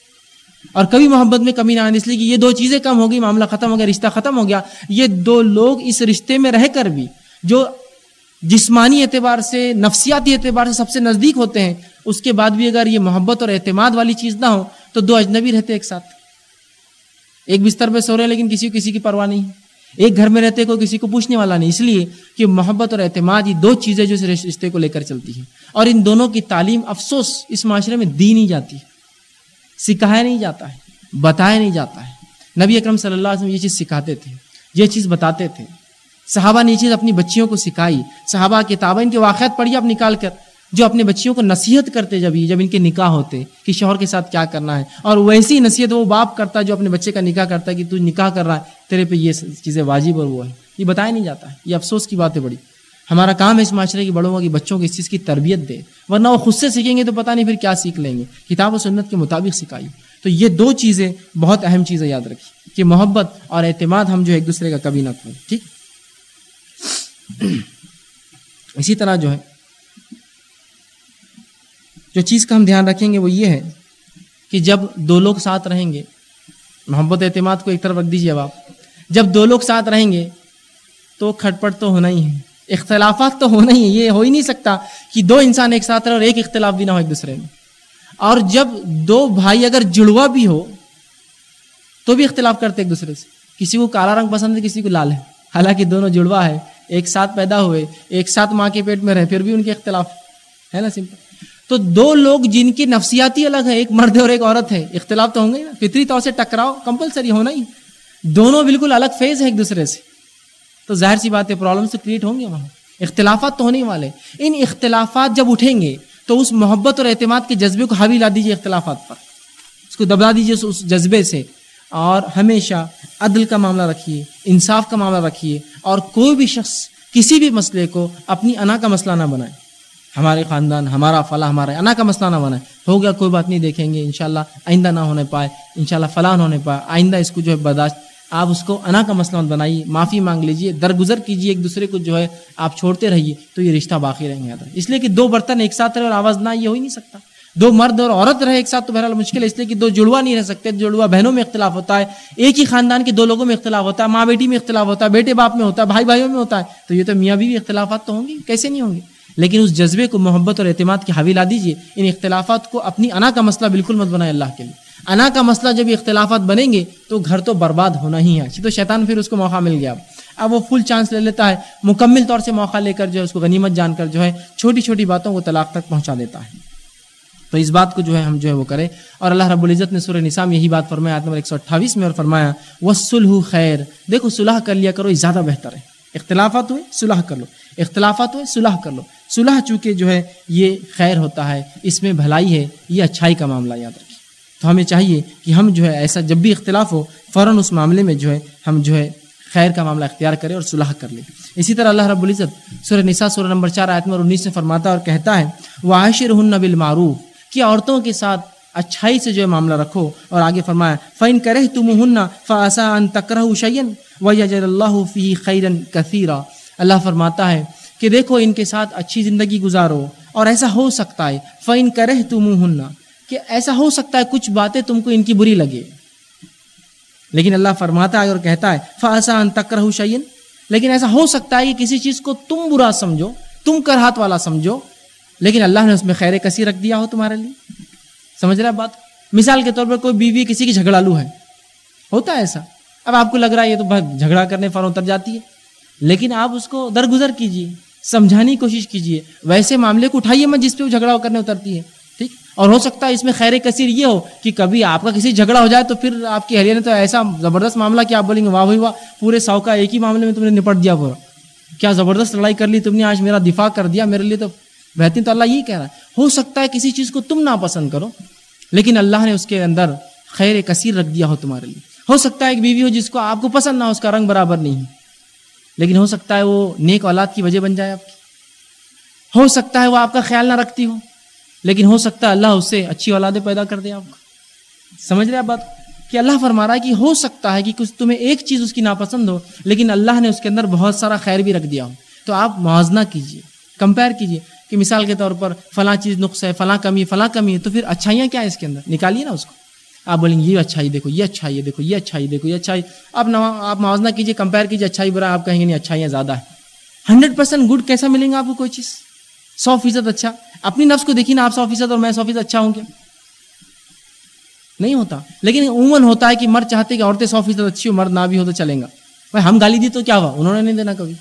میں لڑ لیا تو کیا انہوں نے لڑنا نہیں کبھی۔ میں نے تھپڑ مارا تو کیا؟ اس نے تھپڑ نہیں مارنا مجھے کبھی، ہے نا؟ میں اس کے بارے میں غیبت کیا تو کیا؟ اس نے غیبت نہیں کرنا کبھی میرے لے کے یہ ہوتا ہے۔ دیکھیے، اب ہوتا ہے نا۔ یا پھر ایک مرد ہوتا ہے جو شریعت کا بالکل پابند نہیں ہے۔ لیکن خاتون کو چاہتا ہے برقع ہو، آنکھوں پہ بھی گوگل ہو، ہاتھ میں جو دستانے ہو، پیر میں جو ہے موزے ہو، فلاں ہو، ادھر نہ جاؤ۔ تو سوال یہ ہے، بھائی صاحب، آپ بھی تو ویسے دیندار بنیے نا پھر۔ اہلیہ کو تو چاہتے ہیں میں یہ نہیں کہہ رہا ہوں کہ ابھی امید نہ کرے کہ میں بے دین ہوں تو اہلیہ بھی۔ لیکن دونوں طرف معاملہ ہونا درست۔ ایسا نہ ہو کہ مرد یہ سوچے کہ میرا معاملہ ہو تو کیا ہو؟ میں بدنام ہوں تو تم نہیں ہونا، فلاں۔ تو آپ اپنے آپ کو بھی ہم دیکھیں، ہمیں بھی کتنے نقص ہوتے ہیں۔ کبھی اس بیوی سے پوچھیے مجھ میں کیا نقص ذرا بتاؤ۔ اور نبی اکرم صلی اللہ علیہ وسلم کے ازما عائشہ کی ایک روایت ہے حدیث بخاری کی۔ میں سمجھتا ہوں سب سے طویل روایت ہے وہ۔ بخاری کی، جس میں مائی عائشہ رضی اللہ ایک مرتبہ ایک مجلس میں گئی۔ جہاں نو عورتوں نے اپنے ساس اور اپنے شوہر کا تذکرہ کیا۔ نو عورتوں نے، جس میں عبداللہ ابن مسعود کی بھی جو ہے بیوی تھی ایک۔ سب نے تذکرہ کیا اور سب نے پازیٹیو اور نگیٹو آسپیکٹس بیان کی کہ میرے شوہر میں کیا خصوصیت ہے اور کیا اس میں خامیاں ہیں۔ مائی عائشہ سنتی رہی اور اللہ کے رسول صلی اللہ علیہ وسلم سے ان کی ملاقات ہوئی تو کہ اللہ کے رسول سے آپ نے وہ پورا واقعہ بیان کیا اور پورے نو لوگوں کا واقعہ بیان کیا اور پھر کہ اللہ کے رسول سے کہا، اب جج کرو اس میں سب سے اچھا شوہر کون سا ہے؟ اور رسول اللہ، دیکھیے نوت کی ذمہ داریاں، سب کچھ کر کے گھر تھکے آ رہے آئے، اس کے بعد پورے نو لوگوں کا قصہ سنا ان سے۔ بیٹھے رہے ہاں بولو بولو عائشہ، بولتے رہو بولتے رہو پورا۔ جب نو لوگوں کا قصہ بول دیا تو کہا کہ اب بتاؤ اللہ کے رسول کی کون اس میں سب سے اچھا شوہر ہے؟ ماں عائشہ نے ہو سکتا ہے اس لیے بھی سوال کیا ہو کہ رسول اللہ نے سنا نہیں، سنا میری بات غور سے۔ تو کہا ہاں، تم نے جو بیان کیا، فلاں مرد کی یہ صفت ہے یہ خصوص فلاں فلاں، ان تمام واقعات سن کے لگتا ہے عبداللہ ابن مسعود زیادہ بہتر ہے اپنے بیوی بیوی کے ساتھ بنسبت باقی آٹھ کے۔ تو کہا ہاں ٹھیک ہے پھر۔ تو اندازہ لگے، آپ سنتے رہے، وہ بولتی رہی اور آپ کا سننا، عورتوں سے بات کرنا، یہ سب چیزیں کیا ہے یہ سنت رسول ہے اور یہ رشتوں کو ہموار کرتے، بڑھاوا دیتے۔ ہیں تو اسی طرح کچھ ہو سکتا ہے ان میں خامیاں ہوں، لیکن خیر اللہ نے ان میں کثیر رکھا ہے۔ لیکن یہاں خطاب آدمیوں سے اللہ نے اس لیے کیا کہ عموماً مرد یہ سمجھتا ہے اس کو مکمل حق ہے ان کو رکھنے اور نکالنے کا۔ تو شریعت یہ کرتی ہے، اس کی خصوصیت یہ ہے کہ جہاں زیادہ کسی کو نقصان ہوتا ہے تو اس کے مقابل جو ہے اسی کے بارے میں بیان کرتی ہے۔ مثال کے طور پر قرآن میں اللہ نے کہا سورہ نور کے اندر کی معصوم، بھولی بالی عورتوں پر، جو مومنہ عورتوں پر الزام لگائیں گا، دنیا اور آخرت میں اللہ ان کے ساتھ برا حل کریں گا، برا سلوک کریں گا، ان کے ساتھ ان کے ان کے لیے عذاب ہے۔ تو کیا یہ مردوں کے لیے نہیں؟ معصوم بھولے والے مردوں پہ جو الزام لگا ان کے لیے بھی ہے لیکن اکثر سماج میں عورتوں پہ الزام زیادہ لگتے بہ نسبت مردوں کے، تو شریعت نے ان سے خطاب کیا۔ کیا ان کو مت لگاؤ؟ اس لیے کہ تم مرتے بھی لگ سکتا ہے، لیکن عورتوں پہ زیادہ لگتے ہیں۔ تو یہاں ہم سے خطاب اس لیے کیا مردوں سے؟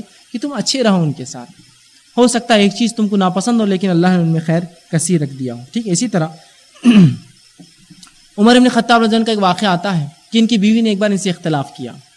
اختلاف مطلب کوئی رائے میں مجھے ایسا نہیں پسند نہیں عمر ابن خطاب نے تعجب کا اظہار کیا اور کہا، کیا تمہاری حالت تھی دور جہالت میں؟ کیا تمہارے مطلب حال تھا؟ کیا حق تھے تمہارے پاس؟ آج کیا اسلام نے تم کو حق دے دی؟ بس لگی ہمارے پہ چڑھائی کر رہی تم۔ مجھ سے اختلاف کر رہی ہو تم۔ کہ اسلام نے تم کو حق دی تو دیکھو آج کیا تم اٹھا رہی ہو، اس کا فائدہ کہ مجھ سے اختلاف کر رہی ہو۔ تو ان کی بیوی نے جواب دیا، آپ مجھے تو بڑا کہہ رہے کہ میں اختلاف کر رہی ہوں اپنی بیٹی حفصہ وہ کبھی نہیں پوچھتے، وہ تو اللہ کے رسول سے بھی کبھی کبھی اختلاف کرتی ہے، رسول اللہ اس سے بھی ناراض ہوتے ہیں۔ کیوں اپنی بیٹی کا نہیں بولتے؟ میرا بول رہے میں اختلاف کر رہی ہوں۔ تو پتہ ہی چلا کہ نبی اکرم صلی اللہ علیہ وسلم سے بھی ان کی بیویاں اختلاف کرتی تھی یہ اختلاف کوئی شرعی اختلاف ہاں اور نہ کا ایمان اور غیر وہ نہیں تھا۔ چھوٹا کہ یہ کرو نے مجھے یہ نہیں کرنا، یہ کرنا۔ رسول اللہ ناراض ہوتے بھائی کیوں نہیں کیا ہے؟ مجھے نہیں کرنا تھا۔ تو پتہ یہ چلا کہ مرد میاں بیوی ساتھ ہوں گے تو اختلافات ہونا ہی ہے۔ حتیٰ کہ نبی کی بیوی نبی سے اختلاف کیا، گویا عورتوں کی فطرت ہے۔ اس کو سمجھنا پڑے گا۔ یہی عدل اور انصاف کا تقاضا ہوگا ایک مرد کا۔ لیکن میں یقیناً یہ نہیں کہہ رہا ہوں کہ اس سے بیویوں کو حق ہے۔ ہاں، عمر ابن خطاب سے ان کی بیوی کرتی تھی تو کوئی بیوی گھر جا کے شوہر سے اختلاف کر کے ابھی واقعہ سن کے عمر ابن خطاب کی بیوی کرتی تو میرے کو کیا؟ اور ان کی بیٹی حفصہ بھی اللہ کے رسول سے کرتی تھی تو میں کیوں نہیں کر سکتی؟ نہیں نہیں، اس کا مطلب یہ ہے کہ ایسا ہو جاتا ہے سمجھ کے اختلاف۔ ہم کو سمجھ کر لے کر چلنے پڑے گا اس مسئلے کو۔ اس حد تک آپ کہہ دیجیے ٹھیک ہے، سن لیتا ہوں، مان لیتا ہوں۔ بعد میں آپ سمجھائیے اچھے سے۔ ابھی اگر بات بڑھائیں گے تو جھگڑا پڑ جائیں گے، تو ابھی خاموش بڑھ جائے دس منٹ بعد بات کیجیے معاملہ ختم ہو جاتا ہے۔ اسی طرح جو ہے، اللہ کے رسول صلی اللہ علیہ وسلم، جیسا میں نے کہا کہ دل بستگی کے واقعات ہو، اس طرح سے معاملہ ہو۔ اور عورتوں کے تعلق سے رسول اللہ کی نصیحت بھی آپ سن لیں، آپ نے فرمایا کہ ان کو زیادہ سیدھا کرنے کی کوشش نہ کیا کرو۔ اس لیے کہ تم انہیں زیادہ سیدھا کرو گے تو یہ ٹوٹ جائیں گے۔ ایک فطرت ہے ہر کسی کی۔ اس فطرت کو آپ مکمل تبدیل نہیں کر سکتے۔ تو بس اتنا ہی کرو جتنے میں تم تبدیلی لا سکتے ہو اور اس کو چلاتے رہو معاملے۔ کا اس سے زیادہ کرو گے تو یہ ٹوٹ جائیں گی یاد رکھو۔ اس لیے کہ رسول اللہ فرماتے کہ عورت جو ہے، آدم علیہ ہوا جو آدم علیہ السلام کی فصلی سے بنی تھی اور فصلی ٹیڑھی ہوتی ہے، سب سے ٹیڑھی ہڈی۔ کہا کہ فصلی سے بنی ہے، تم زیادہ سیدھا کرنے کی کوشش نہ کرنا، ورنہ ٹوٹ جائیں گے، رشتہ ختم ہو جائیں گے، طلاق بس یہ معاملہ ہوں تو پتہ ہی چلا اختلافات تو ہوں گے اس کو ہم کو لے کر چلنا ہے۔ اسی طرح نبی اکرم صلی اللہ علیہ وسلم کا فرمان ہے۔ ابو داود کی روایت ہے جو دل بستگی کے واقعات کا میں آپ سے کہہ رہا تھا کہ فراہم کرے، تفریح فراہم کرے۔ تو ہمیں ضروری ہے رسول اللہ صلی اللہ علیہ وسلم بالخصوص تو کہیں تفریح کے لیے نہیں گئے، یہ بات تو طے ہے۔ لیکن جب بھی آپ مختلف مورکے اور جہاد پر گئے غزوات میں، آپ کچھ نہ کچھ صحابیات کو ساتھ لے جاتے اپنے جو آپ کی ازواج میں سے ہوتی ہے دو یا ایک کی باری ہوتی ہے یہ بار یہ دو جائیں گے، اگلی بار وہ ایک جائیں گے، اگلی بار وہ ایک جائیں گے۔ اور وہ ساتھ جاتی، دیکھتی، تو یہ ظاہر سی بات ہے، ایک تفریح و دل بستگی کا موقع ہے ان کے لیے۔ اسی طرح ایک بار واقعہ آتا ہے کہ میں عائشہ رضی اللہ فرماتی، ابو داود کی روایت ہے۔ جب میرا رسول اللہ صلی اللہ علیہ وسلم سے نکاح ہوا، تو ایک مرتبہ ہم جو ہے گھر کی طرف آ رہے تو یہ رات کا موقع تھا، کوئی نہیں تھا دیکھنے والا۔ اور مدینہ کوئی بہت بڑا شہر بھی نہیں تھا اور اسٹریٹ لائٹس بھی نہیں ہوتے تھے اس زمانے میں۔ رات کا موقع تھا، رسول اللہ نے مجھ سے کہا، عائشہ، مجھ سے دوڑ لگاؤں گی؟ تو اللہ کے رسول ہاں دوڑ لگائیں گے، چلیے۔ وہ فرماتی کہ اللہ کے رسول صلی اللہ علیہ وسلم بھی دوڑے اور میں بھی دوڑی اور چونکہ میں عمر میں کم تھی رسول اللہ سے اور دبلی پتلی تھی، میں آگے آ گئی اور میں جیت گئی۔ یہ معاملہ ختم ہوا۔ وہ فرماتی بعد میں ایک موقع ایسا آیا جب شادی کو کافی زمانہ ہو گیا اور میں فربا جسم کی ہو گئی تھوڑی سی موٹی ہو گئی۔ رسول اللہ نے پھر مجھے ایک بار اسی موقع، اسی وقت، اسی جگہ کہا کہ عائشہ، آج دوڑ لگاؤں کہ اتنا ہی ڈسٹینس اسی جگہ سے۔ تو کہ اللہ رسول ہاں آج بھی دوڑ لگائیں گے۔ اور میں بھی بھاگی اور آپ سے بھاگے۔ لیکن آپ صلی اللہ علیہ وسلم اس معاملے میں آگے بڑھ گئے اور پھر مجھ سے کہا، عائشہ، پچھلے کا حساب برابر ہوا۔ تم پہلے جیتی تھی، اب میں نیکسٹ میں جیت گیا۔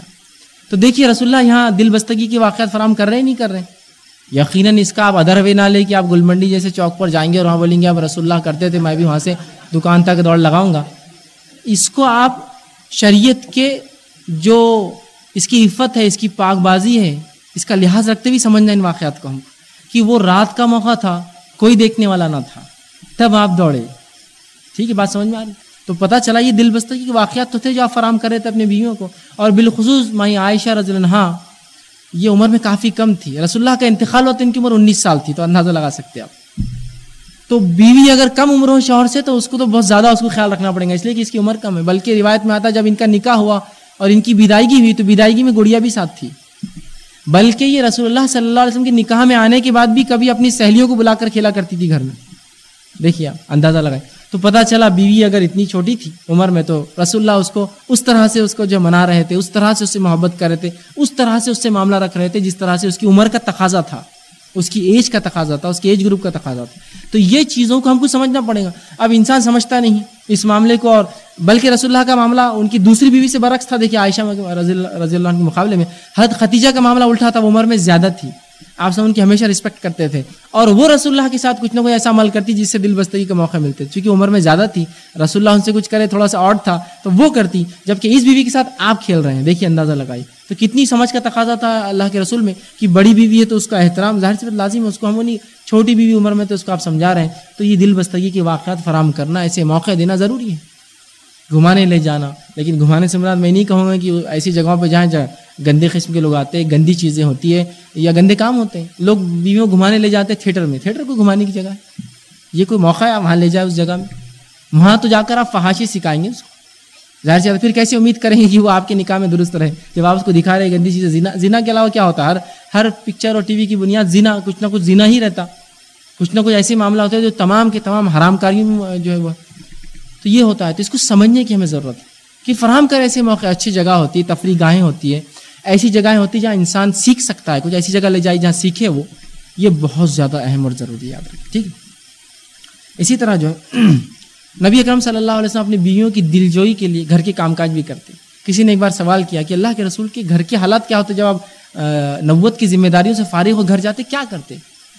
تو میں عائشہ نے فرمایا، رضی اللہ اللہ کے رسول جب نوت کی ذمہ داری سے فارغ ہو کے گھر آتے تو کبھی آپ بکریوں کا دودھ دھو دیتے کبھی مجھے آٹا گون دیتے کبھی جو ہے کپڑوں میں پیمن لگا لیتے اپنے خود جوتے کو سیلیا کرتے اور ہمارے کام کاج میں ہاتھ بٹاتے۔ تو پتہ چلا نبی اکرم صلی اللہ علیہ وسلم اتنی ذمہ داریوں کے باوجود بھی نبوت کی بیووں کے کام کاج میں ہاتھ بٹاتے تھے۔ اندازہ لگا یہ نبی ہے اور آخری نبی اللہ کی یہ اسوا ہے ہمارے لیے ان کی ان, ان کی زندگی ہمارے لیے نمونہ ہے۔ کیا کبھی ہم نے یہ کیا؟ ہم تو یہ سمجھتے اب نکاح ہو گیا تو نوکرانی آ گئی گھر کے اندر۔ اب تو ہنڈریڈ پرسینٹ ورک اس کو کرنا ہے۔ اور اگر کبھی پانی اس نے مانگ لے بیچاری مجبوری میں تو او یہ تو حق میرا تھا پانی مانگنا، آپ نے کیسے پانی مانگ لیا؟ رسول اللہ کام کر رہے ہیں، آٹا گون رہے ہیں، گھر کے کام کاج میں کیا نہیں ہو سکتا؟ ہے سب الگ، وہ فرماتی ہاتھ بتاتے ہمارے، بلکہ خود کے کام تو خود ہی کرتے پیمن لگا لیتے، جوتے سی لیتے، پھٹ جاتے تھے۔ باقی ہمارے کام بھی جو ہے کر دیتے تھے، گویا اپنا کام آ کر نہیں بولتے، ہمارے کام آ کر جو ہے سہولت کر دیتے تھے۔ تو یہ ہم کو کرنا پڑے گا، اس سے محبت، الفت بڑھتی یاد رکھی ٹھیک؟ اسی طرح جو ہے معاشی تحفظ۔ مرد کو اللہ رب العزت نے قوام بنایا، اس کی وجہ کیا ہے؟ معاشی تحفظ۔ وہ جو ہے، رزق، جو ہے، روزی لاتا ہے کما کر۔ اللہ کے رسول صلی اللہ علیہ وسلم ایک بار سوال کیا، ایک صحابی ابو داود کی روایت ہے اور کہا، اللہ کے رسول، کہ بیوں کے ہم پر کیا حق ہے؟ معاشی اعتبار سے فائنینشیل کیا ان کے رائٹس ہیں ہمارے اوپر؟ تو آپ صلی اللہ علیہ نے فرمایا کہ بیویوں پہ تمہارا یہ حق ہے۔ اور فرمایا اور کہا، بیوی کا حق یہ ہے تم پر کہ جب تو کھائے تو اسے کھلائے۔ جب تم کھاتے ہو تو اس کو بھی کھلاؤ۔ ٹھیک یہ نہیں کہ تم کھا لے رہے اور اس کو نہیں کھلا لو، اس کے لیے بھی جو کچھ نہ کچھ کرو، جو تم کھاتے اس کو کھلاؤ۔ جو تو پہنے اسے بھی پہنا ہے۔ مطلب اگر تم ایک لباس خریدتے ہو تو ان کے لیے بھی ایک لباس ضرور لو۔ جو تو پہنے اسے بھی پہنا۔ ہے اور ایسا نہ ہو کہ اس کا ناخص ہو اور آپ کا جو اچھا ہو، بلکہ جو تو پہنے وہ اسے پہنا ہے۔ اس طرح فرمائے، اگر کبھی کچھ ہو جائے تو اس کے چہرے پر کبھی ہاتھ نہ اٹھائے۔ کچھ بھی ہو جائے، چہرے پر اس کے ہاتھ نہ لگائے، چہرے پر نہ مارے۔ اس کو برا بھلا نہ کہے۔ کوس نہ کاٹنا اس کو عام زبان میں برا بھلا نہ کہے اس کو۔ اور آخر نے فرمایا، علیحدگی اختیار کرنے کا ارادہ بھی کرے تو گھر سے نہ نکالے اس کو۔ بستر الگ کرے سر یا تم ادھر سونا میں ادھر تم سے ناراض ہوں۔ گھر سے الگ نہیں کرنا۔ کسی گھر سے الگ ہوا کہ پھر شیطان بیچ میں آتا ہے، ادھر بھی لوگ اچھلتے، ادھر بھی اچھلتے، اور معاملہ کیا ہوتا ہے، سب کو پتا ہے۔ تو کبھی اپنے بستر اگر علیحدگی اختیار کرے تو گھر سے مت نکالنا اس کو کبھی اپنے باہر۔ کتنے اچھے رائٹس بتایا آپ نے، جس کے اندر دو رائٹس تو اس کے جو ہے بالکل فائنینشیل ہیں۔ اس کا معاشی تحفظ ہے کہ اس کو ہم دیا جائے، ٹھیک؟ اسی طرح ایک صحابی اللہ کے رسول کے پاس اور کہ اللہ کے رسول۔ میرے پاس ایک دینار ہے، کیا کروں؟ تو آپ صلی اللہ علیہ فرما مسند احمد کی روایت ہے انفق والا نفسک، اپنی نفس پہ خرچ کر لیں کہا، ایک اور ہے، کیا کروں؟ تو کہا انفق والا اہلک، بیوی پر خرچ کر پھر جب زیادہ ہے تیرے استعمال۔ پھر کہا، ایک اور ہے، کیا کروں؟ تو کہا انفق والا والا دکھ بچوں پہ خرچ کر اپنے۔ پھر کہا، ایک اور ہے، ان کے چار تھے۔ تو کہا اب چوتھے کیا کرو؟ کہا فان تاب سر اب تجھے معلوم ہے کیا کرنا ہے۔ تیرا استعمال ہو گیا، گھر کا معاملہ ہو گیا، اللہ کے راہ میں خرچ کر زیادہ ہے نا استعمال سے۔ آپ سمجھ رہے ہیں؟ اسی طرح آپ صلی اللہ علیہ وسلم مسلم کی روایت ہے۔ ایک دینار وہ ہے فرماتے جو جہاد میں خرچ ہوتا ہے۔ پیسے کے بارے میں آپ کیٹیگری کر رہے ہیں، فرق کریں۔ ایک دینار وہ ہوتا ہے جو جہاد میں خرچ ہوتا ہے۔ ایک دینار وہ ہوتا ہے جسے تم غلام آزاد کرتے ہو۔ یہ عمل بہت افضل ہے جہاد، غلام آزاد کرنا بہت افضل عمل۔ ایک دینار وہ جو تم جہاد میں خرچ کرتے ہو، ایک دینار وہ جس سے تم غلام کو آزاد کرتے ہو۔ فرما ایک دینار وہ جو تم بیوی بچوں پر خرچ کرتے ہو۔ اجر کے اعتبار سے بیوی بچوں پہ خرچ کیا دینار، یہ دونوں دینار سے افضل ہے۔ اجر کے اعتبار سے یہ دینار سب سے افضل ہے جو بیوی بچوں پر خرچ ہوا۔ لیکن میں یہ بھی نہیں کہنا چاہ رہا ہوں آپ سے کہ مکمل آپ خرچ کے معاملے میں ایسے بڑھ جائے کہ اللہ کے نام میں خرچ کرنے کی نہ آپ کو خواہش رہے، نہ پڑوسیوں کا حق رہے، نہ یتیموں اور مسکنوں کا، اور جو لوگ ہیں مسافر، پریشان تنگ دست جو ہے مصیبت زدہ، فتنوں اور فساد میں پھنسے ہوئے، ان کا آپ کو یاد ہی نہ رہے۔ کہ بس پورا آ رہا جو کچھ آ رہا بولے اب میرے کو پتہ چل گیا، رسول اللہ کی حدیث ہے، ہزاروں اور لاکھوں خرچ کر دینا اللہ رب العزت قرآن فرماتا ہے کلو و والا تو تصرف کھاؤ، پیو، لیکن اسراف نہیں۔ بیجا مت خرچ کرو لمٹ میں ہو، اوسط زندگی گزارو اور اللہ کے راہ میں بھی خرچ کرو۔ لیکن اگر تمہارے پاس ایک ہی دینار ہے اور تین آپشن ہے کہ جہاد غلام آزاد اور بیوی بچے، تو پھر یہ آپشن بیوی بچے پہلا لیں گے آپ۔ سمجھ رہے بتانے کا مقصد یہ ہے۔ لیکن مطلب یہ نہیں کہ پورا یہ آپ کمائیں اور پورا سو فیصد برباد کر دیں بیوی بچوں پہ۔ کچھ لوگ کرتے ہیں، نہ اللہ کے راہ میں صدقہ خیرات یاد آتے ہیں، نہ کچھ یاد آتا ہے۔ بس پورا خرچ کر دیتے ہیں۔ تو یہ تو معاملہ بالکل نہیں ہونا چاہیے، پورا خرچ کرنے کا۔ کچھ حصہ ہو سکتا ہے۔ یا اگر بہت کم ہے تو پہلے پھر ان کا حق ہوں گا یاد رکھیے ٹھیک؟ اعتدال کا راستہ ہمارے لیے ضروری ہے۔ اسی طرح عورتوں کا آپ صلی اللہ علیہ وسلم حکم دیا اور فرمایا ترمیزی کی روایت اور فرمایا، کوئی عورت اپنے خاوند کے گھر سے اس کی اجازت کے بنا چونکہ میں نے کہا نا معاشی تحفظ شوہر دیں گا۔ تو آپ بیوی پہ بھی رسول اللہ نے ریسٹرکشنس لگائے کچھ۔ کیا فرمایا؟ کہ کوئی عورت اپنے خاوند اپنے شوہر کی اجازت کے بغیر کوئی چیز خرچ نہ کرے۔ پوچھنا پڑے گا اس کو پرمیشن اس لیے کہ وہ کما کے لاتا ہے۔ خرچ نہ کرے۔ یعنی صدقہ خیرات نہ دے۔ دیکھیے، دوسرے خرچ تو دور کیا، وہ مائکے میں بھر دیں گی اور فلاں کو دیں گی اور بھائیوں کو دیں گی اور رشتے دار میں۔ وہ تو دور۔ صدقہ بھی نہیں کر سکتی شوہر سے پوچھ اس لیے کہ ہو سکتا ہے اس نے صدقہ کر دیا ہو گھر والوں کی طرف سے۔ آپ بھی کریں گے تو مسئلہ ہوگا۔ اور اس کے بعد اتنی استطاعت نہیں۔ تو کہا کوئی خرچ نہ کرے۔ صدقہ بھی نہیں۔ تو صحابی نے پوچھا اللہ کے رسول کہ کھانا؟ کیا کھانا دے سکتے ہیں پیسوں کے علاوہ اور کیا تھا؟ گھروں میں کھانا ہی ہوگا۔ کھانا؟ تو کہا کھانا تو تمہارے رزق میں سب سے افضل روزی ہے تمہاری۔ وہ تو بالکل بغیر جات کے خرچ نہیں کریں گے تم۔ تو کھانا بھی نہیں دے سکتی کسی کو۔ پوچھنا پڑے گا اس کو کہ میں فلاں کی مدد کرنا چاہتی ہوں، فلاں کو دینا چاہتی ہوں، ورنہ وہ بیچارہ ایک لمٹ میں محنت کر رہا ہے، آپ خرچ کر دیں گے، وہ پریشان ہوں گے۔ تو یہاں رسول اللہ نے عورتوں کو بھی تاکید کی کہ بیجا خرچ نہ کرے، شوہر سے اجازت کے بغیر خرچ نہ کرے، اس لیے کہ وہ جو ہے محنت کر کے لاتا ہے اور وہ زیادہ جانتا ہے کہاں خرچ درست ہے اور کہاں درست نہیں ہے۔ یہ الگ بات ہے کہ شوہر کو اگر اتنی عقل اور سوچ نہ ہو یا وہ دینی سمجھ نہ ہو تو آپ سمجھ دیجیے نہیں، ادھر خرچ کرو، اللہ کے راہ میں دو فلاں یہ الگ بات، لیکن ان کی اجازت کے بغیر آپ خرچ نہ کریں، ٹھیک؟ اسی طرح جو ہے خواتین بھی اپنے شوہر کی استطاعت کے مطابق خرچ کرے یاد رکھ یہ بھی ایک بڑا جو ہے، برا معاملہ ہے اس امت میں کہ خواتین شوہر کی استطاعت کو نہیں دیکھتی، بے جا خرچ کرتی، بے جا اندھا دن بس مال آیا خرچ کر دیا، مال آیا خرچ کر دیا۔ ابھی تنخواہ اتنی ہے تو اتنے جوڑے اور اتنے کپڑے ہونا۔ اور ابھی جو ہے تنخواہ بڑھنے سے پہلے میں نے طے کر لی کہ یہاں صوفہ آ جائیں گا، یہاں یہ ہوگا یہاں کلر ہوگا فلاں ہوگا ساڑی نہیں آ جائیں گے، ڈریس فلاں ہوگا نہیں، ان کی استطاعت جو وہ کما رہے ہیں، ان کے لمٹ میں جو ہے عورتوں کا بھی کام ہے کہ ان کی استطاعت کے مطابق جو ہے وہ خرچ کرے یاد رکھیے اب ایک حقیقت، اس حقیقت کو سمجھ لیجیے بالکل عورتیں اگر سمجھے تو میں سمجھتا ہوں۔ میرا بہت بڑا کام ہو جائے گا اس معاملے میں۔ ایک بہت زبردست حقیقت ہے۔ وہ حقیقت کیا ہے؟ جب بھی کوئی عورت، جب بھی کوئی عورت بہو رہتی اس کی ساس اچھی نہیں رہتی۔ اور جب بھی وہ ساس بنتی اس کی بہو اچھی نہیں رہتی۔ بس یہ ہوتا ہے، یہ بالکل حقیقت ہے۔ اس بات کو سمجھ لے۔ یہ پتا چلا کہ ہوتا ایسا نہیں ہے، وہ ہماری سوچ ہے۔ جب بھی کسی عورت سے پوچھی بھائی تمہارا معاملہ ہے سانس کہہ رہے ہماری سانس تو ایسے خطرناک تھے، ان کے اماں ایسے تھے، ویسے تھے، یہ تھے، وہ تھے۔ ٹھیک۔ اب جانے دو بھائی، جو بھی ہوا تمہارے ساتھ، اللہ نے اب تو اچھا کر دیا۔ بہو کیسی ہے؟ کا کا اچھا کیا اللہ نے۔ اب بہو ایسی مل گئی، ایسا کر رہی، ویسا کر رہی، ویسا۔ عجیب معاملہ ہے تمہارا تو، نہ پہلے سکون میں تھے، نہ بعد میں۔ یہ مزاج ہے کہ عورت کا معاملہ یہ ہے کہ وہ جب بھی وہ شادی ہو کے جائیں گی تو کہیں گی ساز اچھی نہیں ہے۔ اور جب ساز بنیں گی تو بولیں گی، بہو اچھی نہیں۔ تو یہ چیز کو تھوڑا سمجھنے کی ضرورت ہے، ساس کو بھی اور بہو کو بھی۔ ٹھیک؟ اس لیے کہ دو عورتیں جو ہے ایک ساتھ رہے اور بالکل آمنے سے مشکل ہوتا تھا۔ اور ساس اور بہو کا رشتہ بہت جو ہے ایک عجیب رشتہ ہے، یاد رکھیے۔ اس کو بہت زیادہ سمجھنے کی اور سنجیدگی سے لینے کی ضرورت ہے اس معاشرے میں۔ اس لیے کہ جب بھی کوئی عورت نکاح کر کے اپنے بیٹے کو لاتی ہے، تو وہی قسم کی بادشاہ ہوتی ہے۔ یہ ریجیکٹ وہ ریجیکٹ اس کو دیکھ لیں گے، اس کو بعد میں ریجیکٹ کریں گے، اس کو لسٹ میں رہنے دو، اس کو اپڈیٹ کر دو، ابھی کہ دیکھیں گے، اس کو پوائنٹ پہ رکھو، ابھی بعد میں دیکھیں گے، لینا نہیں لینا ایکسیپٹ بالکل وہ بادشاہ بن جاتی ہے۔ اور جب نکاح کر کے لالی تھی تو ایک قسم کا وہ احسان سمجھتی ہے کہ میں نے احسان کیا اپنے بچے کا نکاح۔ کیا احسان وحسان کچھ بھی نہیں کیا آپ نے۔ یہ بات یاد رکھ لیجیے اگر آپ یہ نہ کرتے تو وہ جا کے زنا کرتا، تو آپ نے اپنی نفس کو اور اپنے فائدے کے لیے کیا یہ، اپنے بیٹے کا نکاح۔ اس کا کچھ بھی نہیں تھا احسان نہیں کیا کسی نے۔ یہ بات کو ہم سب سمجھے یہ معاشرہ ایسا ہوتا ہے کہ سب ایک دوسرے کے اوپر ایسا اینٹ کام کرتی ہے، ویسے ہی ہم سب چلتے ہیں۔ تو یہ بات کو سمجھے خواتین بالخصوص، ورنہ یہی پور میں جب ساس تھی تو میری بہو اچھی نہیں، اور جب میں بہو تھی، میرے کو ساس اچھی نہیں ملی۔ یہ سب کے ساتھ ہوتا ہے۔ سمجھیے اس رشتے کو۔ اور دونوں اگر دینی اعتبار سے اس کو سمجھے نا، سنجیدگی سے لے تو انشاءاللہ اکثر فتنے فساد ختم ہو جاتے بہت سی بار ہوتا ہے گھر میں شوہر بیٹھا ہوا خالی آ کے، دونوں ہی لڑ رہے اب لڑ لو لڑ لو، اچھے سب کیا کریں گے؟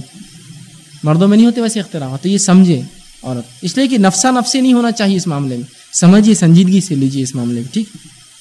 اور یہ سوچیے کہ اگر میں ذرا برابر غلطی کرتی ہوں تو بچوں کی زندگی سے بہت بڑا اثر پڑ سکتا ہے۔ اب آئیے۔ میاں بیوی کے چند حقوق آپ کے سامنے جو مختصر تین تین کی جو ہے شکل میں رکھتا ہوں۔ اس سے پہلے ایک بات جو ہے وضاحت کرنا بہرحال بہت زیادہ ضروری ہے کہ جب میں حق کی بات کر رہا ہوں تو ابھی میں بیوی کے حق بیان کروں گا، پھر شوہر کے حق بیان کروں گا۔ تو ایسا نہ ہو کہ وہ بہت زبردست حق معلوم ہو گیا، میرے بیوی کی حق اب تک میں نے مارا تھا، پر میں معافی چاہتا ہوں، تمہارے پیر پڑھ لیتا ہوں، یہ حق نہیں دیا۔ اور ماں باپ کو پورا ہی بھول گیا۔ آج میرے کو یہ حق معلوم میں آج میاں بیوی کے حق رکھ رہا ہوں بول کے ان کی بات کر رہا ہوں۔ لیکن اس سے مائیں اور ماں باپ یہ نہ سمجھے کہ ان کا حق کم ہوتا ہے۔ ان کا حق بالکل اپنی جگہ ہے۔ ابھی چونکہ ان کے والدین کے حقوق کا عنوان نہیں ہے، تو میں بیوی کی بات کروں گا۔ جب والدین کی بات آئیں گی تو والدین کی رکھوں گا۔ جب پڑوسی کی آئیں گی تو پڑوسیوں کی رکھوں گا۔ ٹھیک ہے؟ ابھی لیکن میاں بیوی کی ہو رہی ہے۔ تو ایک حق سمجھ کے ایسا نہ ہو جائے کہ آپ جا کے قدموں میں گر جائے بس اب، بس ختم، اب ماں کچھ نہیں، باپ کچھ نہیں اور یہ کچھ نہیں، اڑوس پڑوس کچھ نہیں، بس تم ہی سب کچھ ہے۔ یہ نہ ہو۔ بلکہ حقوق کو ان کے معیار پر رکھیے۔ اور جس کا جو حق ہے اس کو وہ دیتے رہیے ختم معاملہ ہوا۔ بیوی کو اپنی جگہ، ماں کو اپنی جگہ، تمام کو اپنی اپنی جگہ حق دیتے رہیے دیتے رہیے یاد رکھیے اور لوگ بھی یہ نہ سمجھے کہ اگر میرا بچہ نکاح کرتا ہے تو اس کے حق جاتے ہیں، یا میرے حق چلے جائیں گے۔ مائیں اکثر ہوتی ہے کہ جب بیٹا نکاح کریں گا تو وہ سمجھتی ہے ان کا حق چلے جا رہا۔ اور حق جانے کی وجہ کیا ہوتی ہے؟ اب ایک انسان نے نکاح کیا۔ نکاح کرنے کے بعد ظاہر سی بات ہے، دو اجنبی لوگ ایک دوسرے سے ملے، ٹھیک۔ اور ظاہر سی بات ہے، جسمانی اور نفسیاتی بہت ساری چیزیں ایسی ہوتی ہیں جو انسان کو اس سے پہلے اس کا احساس نہیں ہوا تھا۔ اب ایک انسان ایک معمولی مثال لے لیجیے کہ کوئی نئی چیز خرید کر لاتا ہے۔ ایک انسان نے گاڑی خرید لی سمجھ اس کے گھر میں پہلی گاڑی تھی۔ آپ دیکھیے، وہ جس نے گاڑی لیا نا، وہ سب کو بتاتا ہے۔ پہلے اس کے بعد بھی رات میں جب کوئی نہیں رہتا تو اکیلا گاڑی پاس جا کے بیٹھتا ہے۔ اس کو ہاتھ لگا کے چیک کرتا ارے، لائٹ بہت چمکتا ہے یار، یہ تو دیکھا نہیں تھا۔ یہ نٹ بہت اچھا ہے یار، یہ تو بہت بہت زبردست ہے، یہ تو اپنے نے کبھی دیکھے نہیں۔ ارے، کیا زبردست چوک ہے، وہ گاڑی میں تو نہیں تھا اس میں، یہ فلاں ہے۔ وہ پورا دیکھتے رہتا اس کو اور اس سے بہت سے تجربات حاصل کرتا۔ ارے، یہ بریک کو تو فلاں یہ تو ایسا چلتا ہے۔ بہت سی چیزیں وہ گین کرتا، اسے حاصل کرتا۔ پرانی گاڑی آپ چلاتے، اس کو جو ہے جو ہے بریک شوز رہتے تھے۔ اب جو ہے ڈسک بریک آ گیا۔ ہاں یہ تو وہ فلاں اس کو ایسا۔ وہ دیکھتے بہت دیر تک اس سے جو وہ کرتا ہے۔ اور کئی مہینوں تک اس کا تجزیہ چالو ہی رہتا۔ ذرا بھی آواز ہوتا ہے کہاں سے آواز آ جا رہی کیا ہو رہا؟ انجن فالٹ تو نہیں ہو گیا، فلاں ہے۔ نا؟ انسانی مزاج، اسی کو بولتے ہیں۔ ایک ہینڈ سیٹ خرید کے لا لیا۔ لاتے وہ اس کا پورا پڑھتے رہتا، کئی دنوں تک اس کا بڑا شوق رہتا اس سے کھیلنے کا۔ ذرا برابر بھی ایک فنکشن یا مال فنکشن ہوگا، تھوڑا غلط ہوگا فوراً بھاگتا ہو، یہ غلط، یہ فلاں غلط، یہ فلاں غلط، یہ فلاں غلط، یہ تم نے صحیح نہیں دی، ہے نا؟ ہوتا ہے نا؟ تو اندازہ لگا یہ انسانی فطرت ہے۔ اب یہی فطرت کو لاگو کیجیے کہ انسان اپنے ہم جن سے نہیں، ایک دوسری جن سے ملا۔ ظاہر سی بات ہے عورتیں ایک دوسری جن سے مرد ہے، انسانوں کے اندر۔ اور ظاہر سی بات ہے، وہ تقاضے یہاں لاگو ہوئے، جو تقاضے کسی کے ساتھ نہیں تھے اس کی زندگی کے اندر۔ تو یہاں تو بہت زیادہ تبدیلیاں آئیں گی اور اس کی خواہشات بہت زیادہ رہیں گی اور یہاں اس کو وقت زیادہ چاہیے بنسبت دوسری چیزوں کو چیک کرنے کی۔ سمجھ رہے نا بات کو؟ اب ہوتا یوں ہے کہ انسان کا نکاح ہوا۔ نکاح ہو کے وہ چاہتا ہے کہ اس خاتون سے میں بات کروں۔ ٹھیک؟ اب بات کروں۔ تو وہ ہوتا یوں ہے کہ جیسی اس کے نکاح ہو کے گھر میں آیا، پورے کیمرے لگ جاتے ہیں۔ آتے ہی بات شروع۔ تو کب کرنا پھر؟ مرنے کے بعد؟ ارے، کیا بچہ ہے؟ دیکھو، آتے ہی بات شروع کر دیا۔ اب تمہارا تو سچا نہیں دکھ رہا خالہ۔ بچہ آ سے گیا۔ یہ بازو والے جو ہوتے، گروپ رہتا، پورا بیٹھا ہوا۔ سب کے کیمرے لگے رہتے۔ کتنے میگا پکسل کے اور کتنے دور تک زوم میں نہیں بولوں گا، لیکن بہت کین رہتا ہو ایسا باریکیاں پکڑتا ہے ایک ایک وہ۔ سمجھ رہے ہیں بات کو؟ ارے بات نہیں کریں گے تو کیا کریں گے؟ ٹھیک؟ دن بھر پورے کیمرے لگے ہوئے ہیں۔ دو تین ننا نے چھوڑ، جاؤ دیکھتے رہو بھائی کو کدھر جا رہا، کیا کر رہا۔ اب وہ بےچارا بورچے خانے میں بات نہیں کر سکتا، وہ بےچارا مردانے میں بات نہیں کر سکتا۔ اب صرف اس کو ایک وقت بات کرنے کیا؟ اس کا کمرہ۔ اب وہاں بھی اگر بات کرے رات میں بہت آواز آ رہی تھی، کیا بات ہے؟ جلدی سو جایا کرو، اتنی دیر تک مت جاگا کرو رات میں۔ تو بولتا، اب کرنا کیا؟ اب وہ سوچتا، باہر جا کے بات کریں گے۔ اب وہ باہر لے جا کے بات کیا۔ بہت دیر ہوگی آئے نہیں اب تک کدھر گھوم رہے، زیادہ مت گھما کرو، نئی نئی دلہن ہے، فلاں ہو سکتا، بہکا سکتی، فلاں، جلدی آؤ واپس، کہاں جا رہے؟ وہ بولتا ہے کروں تو کیا کروں؟ سمجھ رہے ہیں بات کو؟ سمپل انسانی نفسیات کو تو سمجھیے، اب اتنا سمپل لاجک ہے، اس کو ہر چیز جو نہیں رہتی اس کو وہ جانچتا ہے وہ چیز کو۔ وہ چاہتا ہے اس کے ساتھ زیادہ دیر گزارے۔ اس کا نکاح ہوا۔ آپ اس کو چھوڑ دیں۔ اب یہ کام نہیں کرتے تو انسان پھر کیا کرتا؟ چور راستے نکالتا پھر اپنے کام کے۔ اس کا تو مقصد ہے۔ اس کو جو چیز حاصل کرنا شریعت اس کو ملی تو وہ حاصل کریں گا۔ پھر وہ راستے نکالا تو دیکھو، اب وہ وہاں بیٹھے تھے۔ اب کبھی سمجھو چلا گیا۔ اب خاموشی سے گھر میں نہیں بولا، چلو وہاں تو بات نہیں۔ یہاں کسی نے خبر دے دی، وہاں بیٹھا ہوتا تمہارا بیٹا۔ گیا ہوتا اب اور بیٹے کو کم اس کو لے کے چلے گئے میرے بیٹے کو ابھی سے۔ فلاں یہ وہ اور وہ تو میں ہمیشہ کہتا ہوں بالخصوص ماؤں سے لڑکوں کی اور دیگر خواتین سے تھوڑی دیر کے لیے کیمریز بند کر دے اپنے۔ جانے دے ان کو۔ انسانی فطرت کا یہ تقاضا ہے۔ اس کو شریعت نے بھی سمجھا ہے۔ اس لیے نبی اکرم صلی اللہ علیہ وسلم فرماتے ہیں اور آپ نے کہا کہ جیسے نکاح ہو جائے الگ کر دو اس کو۔ ختم معاملہ۔ اور ایسے بہت سارے میں نے لوگ دیکھے جو آج کے دور میں بھی جو ہی لڑکے کا نکاح ہوتا ہے، کم از کم کچھ نہیں تو سال بھر کے لیے دوسرے گھر میں رکھ دیتے، بھائی ادھر رہو تم، سال بھر ایٹ لیسٹ اس لیے کہ انسانی فطرت تقاضا ہے، اگر یہاں رہوں گے تو اس کو، ساس کو برا لگے گا کہ میرے بیٹا فنا ہے، تو یہاں تمہارا حق نہیں، تو تم ایک سال جاؤ، بعد میں آ جانا واپس ایسے بھی لوگ ہوتے ہیں۔ یا پھر الگ چولہا کر کے بولتے ہیں، اب الگ رہو۔ یہی شریعت چاہتی ہے، یاد رکھی اب جب یہ نہیں کریں گے، حق نہیں دیں گے، تو اور پھر بعد میں وہ گھومے گا تو پھر وہاں پکڑ، یہاں پکڑ، یہ درست نہیں ہوتی۔ تو تھوڑی دیر کے لیے سب چیزیں چھوڑ دے کوئی بیٹا ہاتھ سے نہیں جا رہا آپ کے اس میں۔ آپ کو ایسا کیوں لگتا ہے کہ وہ لڑکا آپ سے جو آپ سے پیدا ہوا، جس کی شریعت نے اتنی حق آپ کے اس پہ رکھے ایک جھٹکے میں کوئی عورت اس کو اٹھا کے لے جائیں؟ گے یہ الگ بات ہے کہ نیا نکاح جب انسان کا ہوتا ہے تو اس کو ایک خواہش رہتی ہے، اس میں ایک جذبہ ہوتا ہے، اس کو اب ختم ہونے دے بعد میں معاملہ بالکل نارمل ہو جاتا ہے۔ اب انسان جو ہے کسی کو تحفے تحفے دینا اچھی بات ہے، اپنی بیوی کو تحفہ دینا چاہتا ہے، اب کیسے دے؟ دے نہیں سکتا۔ چھپ کے لایا تو کسی نے گھٹا لیا تو وہ مسئلہ۔ دے دیا، بعد میں پتا چلا تو وہ مسئلہ۔ کون دیا؟ کہاں سے آیا؟ او فو پوری تنخواہ وہاں برباد ہو رہی تمہاری تحفوں میں۔ تو بھی انسان پریشان۔ تو اس کو اگر معاشرہ نہیں سمجھیں گا تو لوگ وہ طریقہ اختیار کریں گے جو کلچر نہ اسلامک کلچر ہے، جو طریقہ نہ اسلام کا طریقہ ہے، نہ جو ماحول اسلامی ہوں گا۔ پھر ہم بولیں گے، ارے ایسا لوگ کیوں کر رہے ہیں؟ بھاگ جا رہے ہیں، فلاں کر رہے شادی کے بعد ہی بھاگ جاتے کچھ لوگ گھر سے۔ بیوی کو لے کے اپنی کیوں تو بولتے تنگ آ گیا میرے لوگوں سے نہ بات کرنے دیتے، نہ سنبھلنے دیتے مجھے۔ ٹھیک؟ تو یہ مسئلہ ہوتا ہے، اس کو سمجھنے کی کوشش کریے۔ ٹھیک؟ بہر تو میں حق جب بتا رہا ہوں تو ایک کا حق دوسرے پہ، تو آپ اس کو فوقیت دے کر دوسرے کا ختم مت کیجیے۔ ابھی جو عنوان ہے، اس وجہ سے میں جو میاں بیوی کے حق بات کر رہا ہوں۔ اب سب سے پہلا جو ہے بیوی کے کچھ حقوق میں آپ کے سامنے رکھ دیتا ہوں۔ پہلا حق یہ ہے کہ اس کو مہر ادا کرے۔ دوسرا حق یہ کہ اس کا نان و نفقہ، اس کا خرچ اٹھائے۔ تیسرا حق یہ ہے کہ اس پہ ظلم زیادتی نہ کرے۔ بس یہ تین اس کے امپورٹنٹ حق ہے اس کے اندر کچھ باتیں رکھتا ہوں۔ پہلا حق اس کا یہ ہے کہ اس کا مہر ادا کرے۔ مہر بیوی کا پہلا حق ہوتا ہے بس۔ فرسٹ رائٹ ہے اس کا یہ، جب ہم نکاح کرتے ہیں۔ بہرحال اس میں بھی ہم کہاں تک حق مارتے ہیں، مجھے بتانے کی ضرورت ہے نا تفصیلات میں جانے کی ضرورت ہے۔ ایسے کئی لوگ ہیں جو مر گئے جنہوں نے اب تک مہر نہیں دیا۔ کئی لوگ ہوں گے جو مر گئے۔ اور کئی لوگ اس مجمع میں اور جو بعد میں سنیں گے میری یہ کیسٹ اور ڈی وی ڈی جب بنیں گی انہوں نے حق اب تک مہر نہیں دیا ہوں فرسٹ رائٹ ہے اس کا بیسک مہر تو دینا دور۔ مہر تو دور، اس سے کیا کیا لے لیا وہ اندازہ لگائیے آپ۔ جہاز دو یہ دو بستر، دو سامان، دو واشنگ مشین تمہاری بچی کے لیے میرے کو کہاں ضرورت؟ ہے یہ دو، فلاں دو، زیورات دو، فلاں دو، جوڑا۔ کیا ہے؟ سبحان اللہ۔ تھو ہے ایسی زندگیوں پر۔ کہ جس کے تعلق سے اللہ کہتا ہے، رجال خوامون علی النساء، مرد تم کو فوقیت اس لیے کہ تم کماتے ہو اور تم ہی بھکاری بن کے بیٹھے ہو، مانگتے ہو اسے شادی کے دن۔ خوامیت تم نے خود کھوئی، ہم نے خود کھوئی، لہٰذا پھر حکمرانی ان کی آئیں گی۔ جو دیں گا، اس کی حکومت چلتی ہے۔ ایک سام مجھے ایک دن کہنے لگے کہ آپ کو بہنیں ہیں، میں نے کہا بہنیں ہیں۔ تو کہا، ان کو حیدرآباد میں دیجیے آپ، بڑا فائدہ ہوں گا آپ کو۔ میں نے کہا، کیوں، کیا فائدہ ہوں گا اسپیشل کہا کہ بہت سکون میں رہیں گی آپ کی بہن۔ میں نے کہا، کیوں؟ کیونکہ میں نے، انہوں نے کہا، میں نے اکثر لوگوں کو دیکھا ہے اس شہر کے اندر۔ اکثر لوگ جو ہے اپنی بیویوں کی بات سنتے ہیں تو لہٰذا آپ کی بہن بھی بڑی خوش رہیں گی، ان کی حکومت ہر جگہ بیوی کی، جیسا کہ کہیں آپ گئے، مجھے کرایہ گھر چاہیے تو بولتے میں بیوی سے پوچھ کے آتا ہوں۔ کہیں آپ گئے، فلاں ہے تو وہ میں ذرا اہلیہ سے بات کر لیتا ہوں۔ مشورہ الگ چیز ہے، لیکن وہاں اجازت لینا پڑتی ہے۔ تو وہاں دیجیے بڑا سکون میں رہیں گا۔ میں نے ایسا کیوں ہوتا ہوں گا؟ سیدھی سی بات ہے، جب نکاح ہوتا ہے تو جب لیتے ہیں نا، تو پھر سننا پڑتا ہے زیادہ۔ یہ اس کی مین وجہ ہے۔ کہ لیتے ہیں تو پھر کہاں سے منہ کھولیں گے؟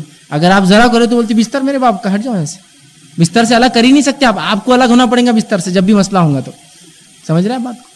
تو جب لے لیتے ہیں جو قوامیت دی، اس کو ختم کر دیتے ہیں، تو پھر معاملہ یہ ہوتا ہے جب دینے والا ہاتھ جو ہے افضل ہوتا لینے والے سے، تو آپ کا ہاتھ جب دینے والا اللہ نے بنایا تھا، آپ نے لینے والا بنایا، تو پھر سنیے بات سمجھنے کی کوشش کریے کہ مہر حق ہے۔ مہر دینا تو دور ہم لوگ اس سے لیتے ہیں، شرم کی بات۔ شرم کی بات، بہت شرم کی بات۔ تو مہر دیجیے ان کا بنیادی حق۔ ہاں تھوڑا سا اس کو تاخیر سے دے سکتے ہیں آپ۔ تھوڑا لیٹ کر سکتے ہیں، لیکن وہ شریعت نے جو تھوڑا لیٹ کیا نا، تو اس کو ایسا لیٹ کیا ہم نے کہ بیچارہ وہ جب لیٹ جاتا ہے، مر جاتا ہے، تو کچھ عورتیں اس کو لاتی ہے بولتی دیکھو یہ تمہارا شوہر تھا، بہت اچھا تھا، فلاں ہے، اس کو معاف کر دو، معاف کر دو بیچارے۔ تو وہ کہتی ہے کہ ماٹھی مجھے نے زندگی میں نہیں دیا۔ اب مرنے کے بعد کیا دیں گا معاف کی جا کیا زندگی گزر گئی، اس کا مہر نہیں ملا باندھا بھی تو پانچ، سات سو، آٹھ سو، ہزار روپے مشکل سے، وہ بھی نہیں دیا۔ یہ حق ہے۔ یہ شرط نکاح کی معلوم آپ رسول اللہ فرماتے مہر دو، اس لیے کہ یہی وجہ ہے جس سے تم عورتوں کی شرمگاہوں کو اپنے اوپر حلال کرتے ہو۔ یہ وجہ ہے اس کی۔ حلال جو شرمگاہ ہوتی ہے نا، ان کی پہلے کیوں حرام تھی ہم پر؟ مہر دیا، بات تھی جبھی تو حلال ہوا نا۔ تو کہا، یہی تو وجہ ہے تمہاری شرمگاہوں کو حلال کرنے کی اور اسی کو نہیں دیتے۔ انجمن، کیش۔ ہال، کیش۔ جوڑا گھوڑا، کیش۔ پھول ہار سب کیش ہے نا؟ کسی کو ادھار ملتا ہے کیا؟ نہیں، سب کیش جو کیش ہونا تھا، وہ ادھار دیں گے نا؟ کہاں جا رہے بھاگ کر؟ دیں گے نا؟ اور دینے دینے دینے کی وہ پوری زندگی گزر جاتی ہے۔ اور باندھتے بھی اتنا ہے کہ وہ بولتی، کیا فائدہ اس سے زیادہ تو جو ہے کہیں ہمیں صدقہ کر دیا آج تک۔ پانچ سو روپے مہر، سات سو روپے مہر، آٹھ سو کو مہر ہے؟ اور شادی میں خرچ دس لاکھ روپے۔ کچھ تو پروپورشن میں دیجیے اس کو مہر، اس کا۔ ٹھیک؟ اور نقد دیجیے اس کو۔ ہاں جو مجبور ہے، پریشان حال ہے، تنگ دست ہے، آج پیسہ نہیں نکاح کرنا چاہ رہا ہے، کل دے۔ پرسوں دے پانچ دن، دس دن، یہ تھوڑی کہ زندگی گزار دے یہ اس کا حق ہے، سب سے پہلے اس کو دیجیے ٹھیک ہے؟ اس لیے کہ اللہ رب العزت قرآن نے فرمایا، سورہ نساء، سورہ نمبر چار نمبر دو میں وات النسائی صدقات ہن نحلا اور عورتوں کو جو ہے، ان کا مہر راضی خوشی دو ان کو، دو ان کو، خوشی خوشی دو، بالکل۔ اسی کوئی مقدار شریعت نے نہیں مان دی آپ جو چاہے بہرحال دے سکتے ہیں، کم زیادہ آدمی کی استاد کے مطابق وہ دے۔ اسی طرح اللہ رب العزت فرماتا ہے، آگے اسی آدمی فعین طبن اللہ منشی من ہوں نفسن فکولو ہوں مریا اگر اس مہر میں سے عورت تم کو کچھ معاف کرنا چاہے یا دینا چاہے واپس، تو لے کر آرام سے کھاؤ، پھر مسئلہ نہیں۔ اور بیوی کو مہر دیا، بیوی نے کہا، واپس لے لیجیے آپ تو کوئی مسئلہ نہیں، اگر دے دے تو تو آپ کھا سکتے ہیں۔ لیکن یہ حق ہے، اس کو دیجیے سب سے پہلے، ادھار مت رکھیے اس کو۔ تھوڑا بہت ٹھیک ہے، اسی طرح اللہ کے رسول صلی اللہ علیہ وسلم نے حدیث میں ایک بہت ایک عجیب بات ہے، یاد رکھیے، ایک ایسا عمل جو سنت ہے، لیکن اس میں تھوڑا بدل جانے سے کیا نقصان ہوگا؟ مسند احمد کی روایت ہے۔ آپ صلی اللہ علیہ وسلم فرمائے، جو شخص نکاح کرے، جو شخص نکاح کرے اور مہر دینے کا ارادہ نہ ہو، باندھو پچاس ہزار کیا ہوتا؟ اور دینے کا ارادہ نہیں۔ جو شخص نکاح کرے اور مہر دینے کا ارادہ نہ ہو، اس نے زنا کیا۔ اندازہ لگایا نکاح سنت ہے۔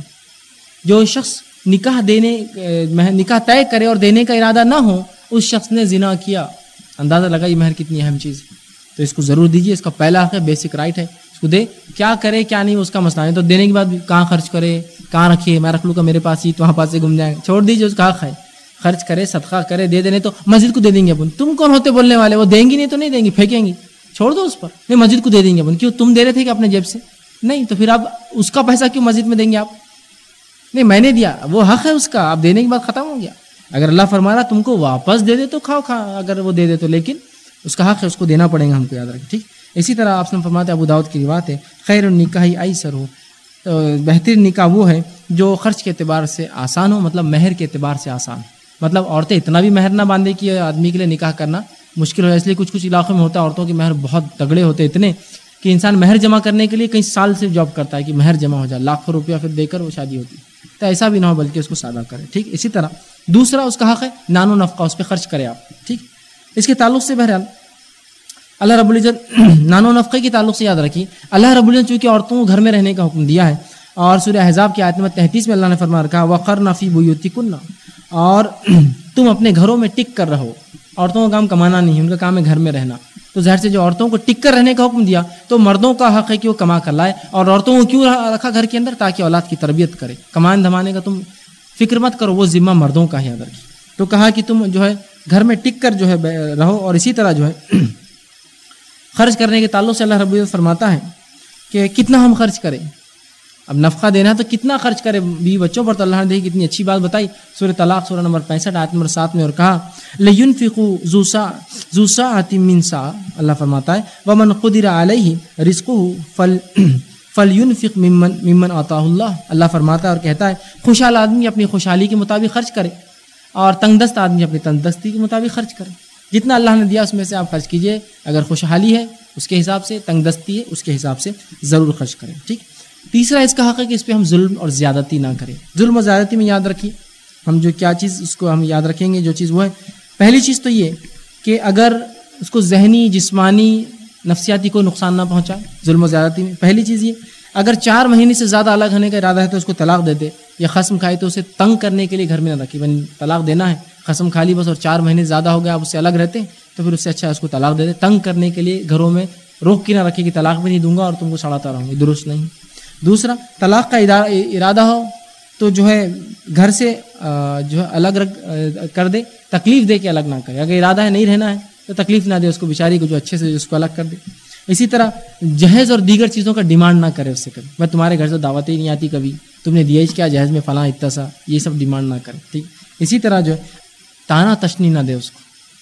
تانے تشنی جو انسان کو نقصان پہنچاتے ہیں نا، وہ جو ہے جسمانی ضرب بھی نہیں پہنچاتی کسی انسان کو آپ کوڑے سے ماریں گے تو اس کو شاید اتنی تکلیف نہیں ہوں گی۔ جتنی اس کو آپ تانے دیں گے جب ہوں گی، تو تو فلاں ہے تم تو ایسے ہے تمہارا خاندانی کیا تھا، ہم نے کر کے لا لیے، تم کو فلاں۔ اس سے انسان کو بہت ذہنی اذیت ہوتی ہے۔ اور وہ جیتے جی مرتا ہے، موت آتی ہے۔ اور شریعت ذہنی اذیت پہ بہت تاکید کرتی ہے کوئی ذہنی اذیت نہ دے۔ ایک دوسرے کی جو ہے، برا بھلا نہ کرے تانے تشنی نہ دے، گندے اشارے نہ کرے، غیبت نہ کرے، جھوٹ نہ بولے، بہتان نہ لگا یہ سب کیا ہے؟ ذہنی اذیت پہنچتی نا، آپ میرے بارے میں غیبت کریں گے، میرے بارے میں جھوٹ بولیں گے تو۔ شریعت بہت محتاط ہے اس معاملے میں، ہم بھی بہت محتاط رہے اس معاملے میں۔ تو یہ اس کے تین بیسک رائٹس تھے۔ اسی طرح جو ہے، عورت کی ذمہ داریاں اب بہرحال شوہر کے معاملے میں عورت کی کیا ذمہ داری ہوں گی؟ شوہر کی کیا حق ہوں گی عورت کے معاملے میں؟ ٹھیک۔ تو اس کے بھی تین حق میں نے تین حصوں میں بانٹا تھا۔ پہلا، اطاعت کرے اس کی، اطاعت اور فرما برداری دوسرا، گھر کی مال کی نگبانی کرے اس کے شوہر کی۔ اور تیسرا، تربیت اولاد۔ یہ تین حق ہے جو بیوی شوہر کے لیے کریں گے پہلا اس کا حق ہے اطاعت۔ ٹھیک۔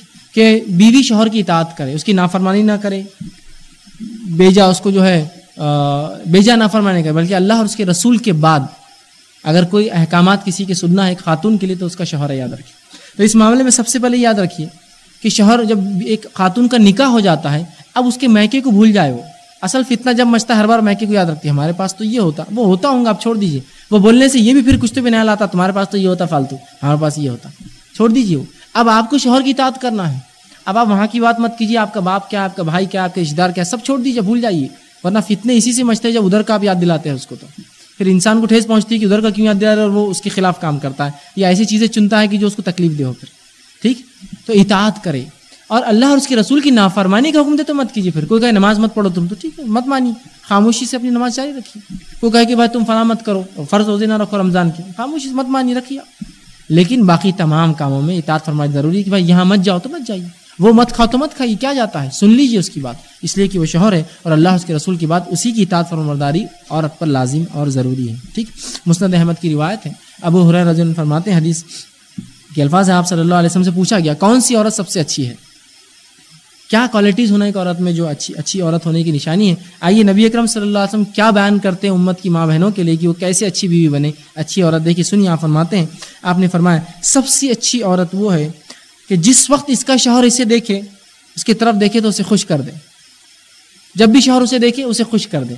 ٹھیک؟ یہ بڑی اہم چیز ہے، ایک اچھی خاتون کی علامت ہے یہ۔ کہ جب اسے دیکھے، اس کا شوہر تو اسے خوش کر دے۔ ٹھیک؟ تو یہ بڑی اہم چیز ہے۔ اب ہمارے پاس ہوتا یہ کہ جو ہے، یہ معاملہ محبت کا اظہار کا میں نے پہلے بتا دیا، ہوتا ہی نہیں۔ اب کوئی شوہر اپنی بیوی کی طرف دیکھے، تو وہ ایک دم برا منہ بنا کے بیٹھی ہوئی رہتی۔ تو یہ بھی بیچارہ مایوس ہو جاتا، جان دو کیا مسئلہ ہے، کیا ٹینشن، چھوڑو اس کو۔ اب جب یہ برا منہ بنا کر آتا تو بولتے تم تو میرے کو دیکھ کے خوش ہوتے نہیں۔ تو بولتا تم کب خوش تھے مجھے دیکھ کر؟ نہیں، میرے کو فلاں تھا تو میرے کو فلاں ٹینشن تھا۔ معاملہ ختم ہو۔ نہیں، بلکہ جب دیکھے تو خوش کر دے اس کو۔ مطلب اتنی اطاعت گزارو فرمردار ہو، ایسے کام کرتی ہو کہ شوہر خوش ہو جاتا ہے اس کو دیکھ کر۔ ٹھیک ہے، دوسرا فرمایا آپ نے اور کہا، اس کا شوہر اس کی طرف دیکھے تو اسے خوش کر دے اور اسے جب حکم دے تو بجا لائے۔ مطلب شریعت کے ماتحت حکم یاد رکھیے، اس کے خلاف تو نہیں۔ جب حکم دے تو بجا لائے۔ فلاں چیز بنا دو، یہ کھانا بناؤ، وہ صاف کر دو۔ بجا لائے جو آپ یہ کہتے مجھ میں طاقت نہیں ہے قوت نہیں، توانائی نہیں ہے ابھی نہیں کر، الگ بات۔ بجا لائے حکم کو۔ آگے فرمایا، اپنی ذات اور مال کے بارے میں خاوین کو ناگوار گزرنے والی بات کبھی نہ کہیں۔ اس کو کوئی چیز ناگوار گزرتی ہے۔ ہمارے ڈیڈی کے پاس پپا کے پاس تو اتنا تھا۔ اس کو ناگوار گزر شوہر کو کبھی مت بولی کبھی مت بولی اس لیے یہ فتنوں کی جڑ بنتی ہے سب تمام چیزیں۔ کوئی بھی ایسی بات جو شوہر کو ناگوار ہو، بری لگتی ہو، وہ بات کبھی نہ کہیں۔ یہ ایک اچھی خاتون کی پہچان ہے۔ اسی طرح ترمیزی کی روایت ہے، آپ صلی اللہ علیہ فرماتے ہیں، آپ نے فرماتے کہ تین آدمی ایسے ہیں جن کی نماز ان کے کانوں سے اوپر ہی نہیں جاتی مطلب وہ قبولیت کے درجے کبھی نہیں پہنچتی۔ تین آدمی ایسے ہیں جن کی نماز کبھی قبول ہی نہیں ہوتی۔ اس نے فرمایا، پہلا آپ نے فرمایا، بھاگا ہوا غلام۔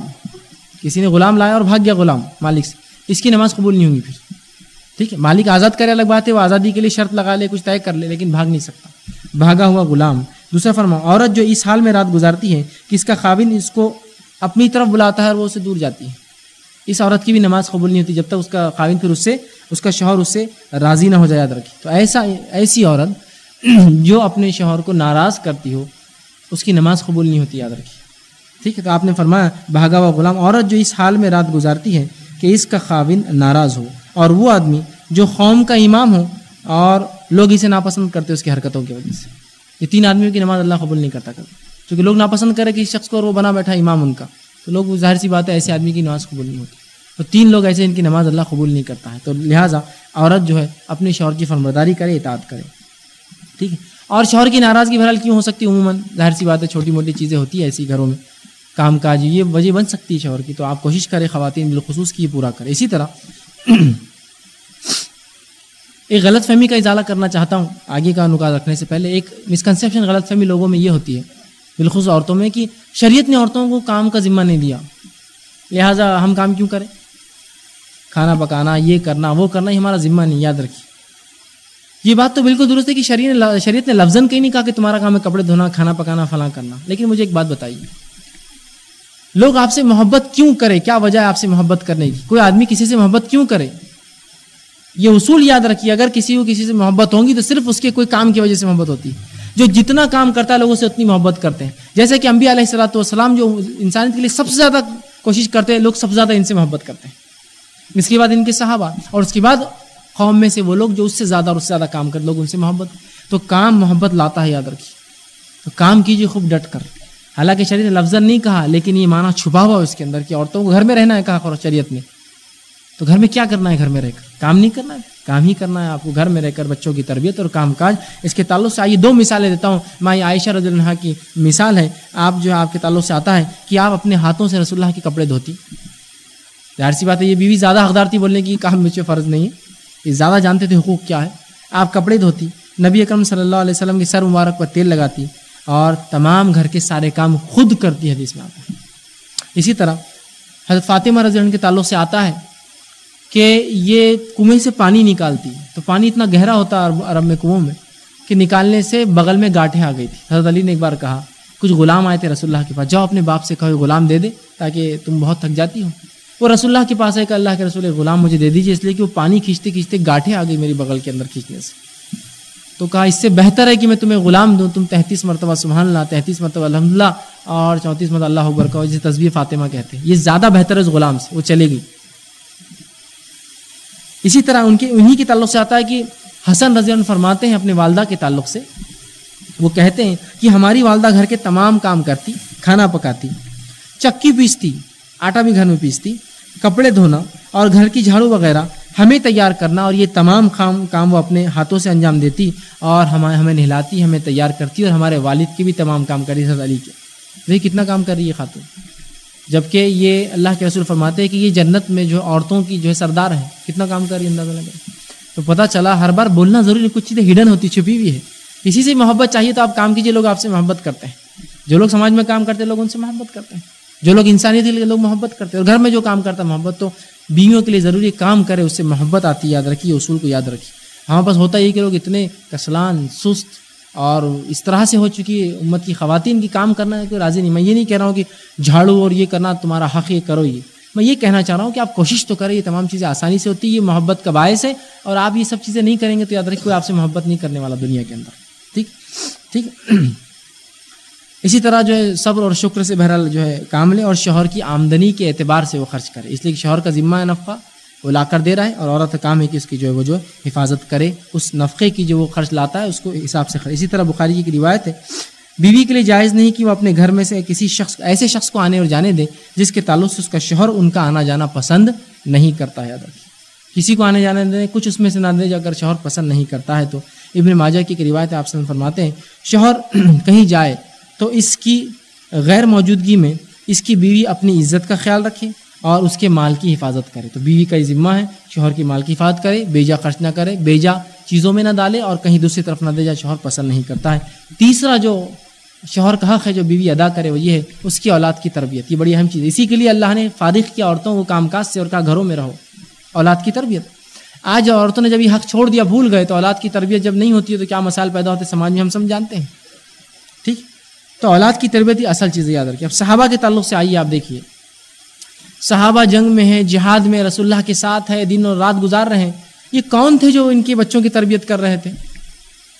عمر ابن خطاب رضی جب سے ایمان لائے، تو ظاہر سے تو پوری زندگی پھر اللہ کے رسول کے ساتھ گزاری۔ تو کون تھے جو ان کی بچوں کی تربیت کر رہے تھے؟ تو ظاہر سی بات ہے، یہ ماؤں کی تربیت کا نتیجہ تھا جو عبداللہ ابن عمر، عبداللہ ابن عباس، یہ دیکھ رہے نہیں بچے؟ اسی طرح جو ہے، حضرت عائشہ، حضرت فاطمہ یہ سب ظاہر سی بات ہے، ان کی ماؤں کی تربیت کا نتیجہ تھی یہ سب اولادیں ٹھیک ہے؟ اور اسام بن زید اور ایک ایک فہرست باندھی جا سکتی، اتنے نام ہیں، اتنے نام۔ تو یہ کن کی تربیت کا نتیجہ تھے؟ یہ ان صحابیات کی تربیت، جب ان کے والد گھر سے باہر تھے، بچوں کی تربیت کرتی، ایسی تربیت کی کہ یہ بچے جو ہے نمونہ بن گئے دنیا کے۔ تو ایسی تربیت ضروری ہے اور خواتین کی ذمہ داری ہے۔ نبی اکرم صلی اللہ علیہ وسلم فرماتے متفق علیہ بخاری مسلم کی روایت ہے، کلکم رائی و کلکم کلکم مسعود و رایت تم میں سے ہر شخص چرواہ ہے، اس سے اس کی ماتحت کی پوچھوں گی۔ تم میں سے ہر شخص جو ہے ذمہ دار ہے، اس سے اس کی ماتحت کی پوچھوں گی۔ اور فرمایا اس حدیث کے اندر، بس عورت، اس سے شوہر کے بچوں اور اس کے رشتہ داروں کی پوچھ ہونے والی ہے۔ عورت سے کیا پوچھوں گی؟ شوہر کے بچے اور رشتہ دار، تو پتہ چلا یہ شوہر کا حق ہے پوچھو نہیں تو عورتیں یہ نہ سمجھے بچوں کی پوچھنی پوچھے آپ سے۔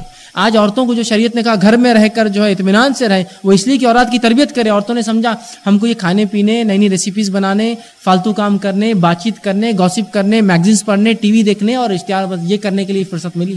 اولاد کی تربیت نہیں ہوں گی تو عورتوں کو اللہ پکڑیں گا، اس لیے کہ اللہ کے رسول فرما دیا سن لو اللہ کل کم رائے، تم میں سے ہر شخص ذمہ دار ہے۔ وہ کل کم مسعول ون رائے، آتی اس سے روز قیامت، اس کے ماتحت کی پوچھ ہونے والی، مجھ سے اور آپ سے پوچھ ہونے والی۔ بالخصوص عورتوں سے پوچھ ہونے والی، کہا، عورت سے پوچھوں گی شوہر کے بچے اور اس کے رشتہ داروں کے تعلق سے، اور شوہر کے رشتہ دار ساس سسر جو ہوتے پوچھ ہونے والی قائم تو یہ حق ادا کرنا یاد رکھیے، اور جب یہ کریں گے تو ہی یاد رکھیے، ایک معاشرہ بنے گا، ایک سماج بنے گا۔ تو ہمیں چاہیے، میں نے بہت مختصر انداز سے، بہت جو ہے مختر اس میں جو ہے قرآن حدیث کی کچھ آیتیں اور قرآن کی آیتیں کچھ حدیث رکھی تاکہ آپ کے سامنے عورتوں کے اور مردوں کے حق رکھوں۔ بہرحال، یہ میری ایک چھوٹی سی کوشش تھی۔ اس لیے کہ جو آج معاشرہ بن رہا ہے، جو برائیاں آ رہی ہے جو طلاق ہے، جو معاملات ہو رہے ہیں، اس کو تھوڑا کم کیا جا سکے۔ اور ہم اگر اپنے حقوق کو جان لیں، کیا ہمیں دینا ہے اور کیا ہمارے ہیں، تو ان شاء اللہ عزیز ایک اچھی زندگی گزار سکتے ہیں۔ اور میاں بیوی کا جو ایک بہت مقدس رشتہ ہے، اس مقدس رشتے کو جو ہے، ہم اس دنیا کے اندر اچھے سے نبھا سکتے ہیں۔ جس کا نتیجہ وہ بچے ہوں گے، جو بچے اعلیٰ تربیت یافتہ ہوں گے۔ جب میاں بیوی حق دیں گے، تو ظاہر سے تو امن ہوں گا، بچوں کی تربیت ہوں گی۔ وہ سماج، وہ گھر ایک نمونہ اور مثال بن جائیں گے۔ تو ہم سب کوشش کریں کہ ہم اپنے بیویوں کے حق دیں۔ بیویاں کوشش کریں، اپنے شوہروں کے بہرحال ضرور وہ حق دیں۔ اسی پہ اپنی بات کو میں ختم کروں گا۔ اللہ رب العزت سے دعائیں کہ اللہ سبحانہ تعالیٰ مجھے اور آپ کو کہنے سننے زیادہ ہمیں عمل کی توفیق عطا فرمائے۔ جب تک ہمیں زندہ رکھے، اسلام اور ایمان کو زندہ رکھے، تمام حقوق جو ہم پر آئے دے ان کو ہمیں کوشش کرنے، جو ہے، ادا کرنے کی، کوشش کرنے کی توفیق دے۔ جب تک ہمیں زندہ رکھے، ایمان اور اسلام پر زندہ رکھے۔ خاتمہ ایمان پر آخر دعوانا الحمد للہ رب العالمین۔ سبحان ربک رب العزت عما صفون وسلام المرسلین والحمد للہ رب العالمین۔ شیطان الرجیم، بسم اللہ الرحمن الرحیم۔ بھائی نے ایک بہرحال سوال کیا کہ نکاح کے لیے بالغ ہونا اور ظاہر سی بات ہے اس کا کمانے والا ہونا، یہ تو ایک بات ہے، لیکن اس کا میچور ہونا، اس کا ذہنی طور سے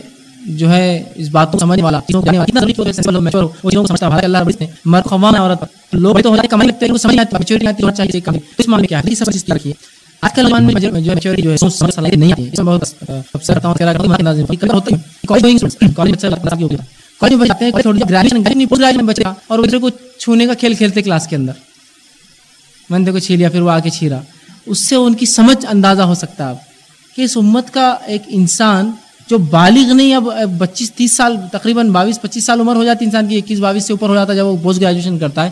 اس میں کیا اتنی صلاحیت ابھی پیدا نہیں ہوئی کہ وہ سمجھ سکے معاملات کو؟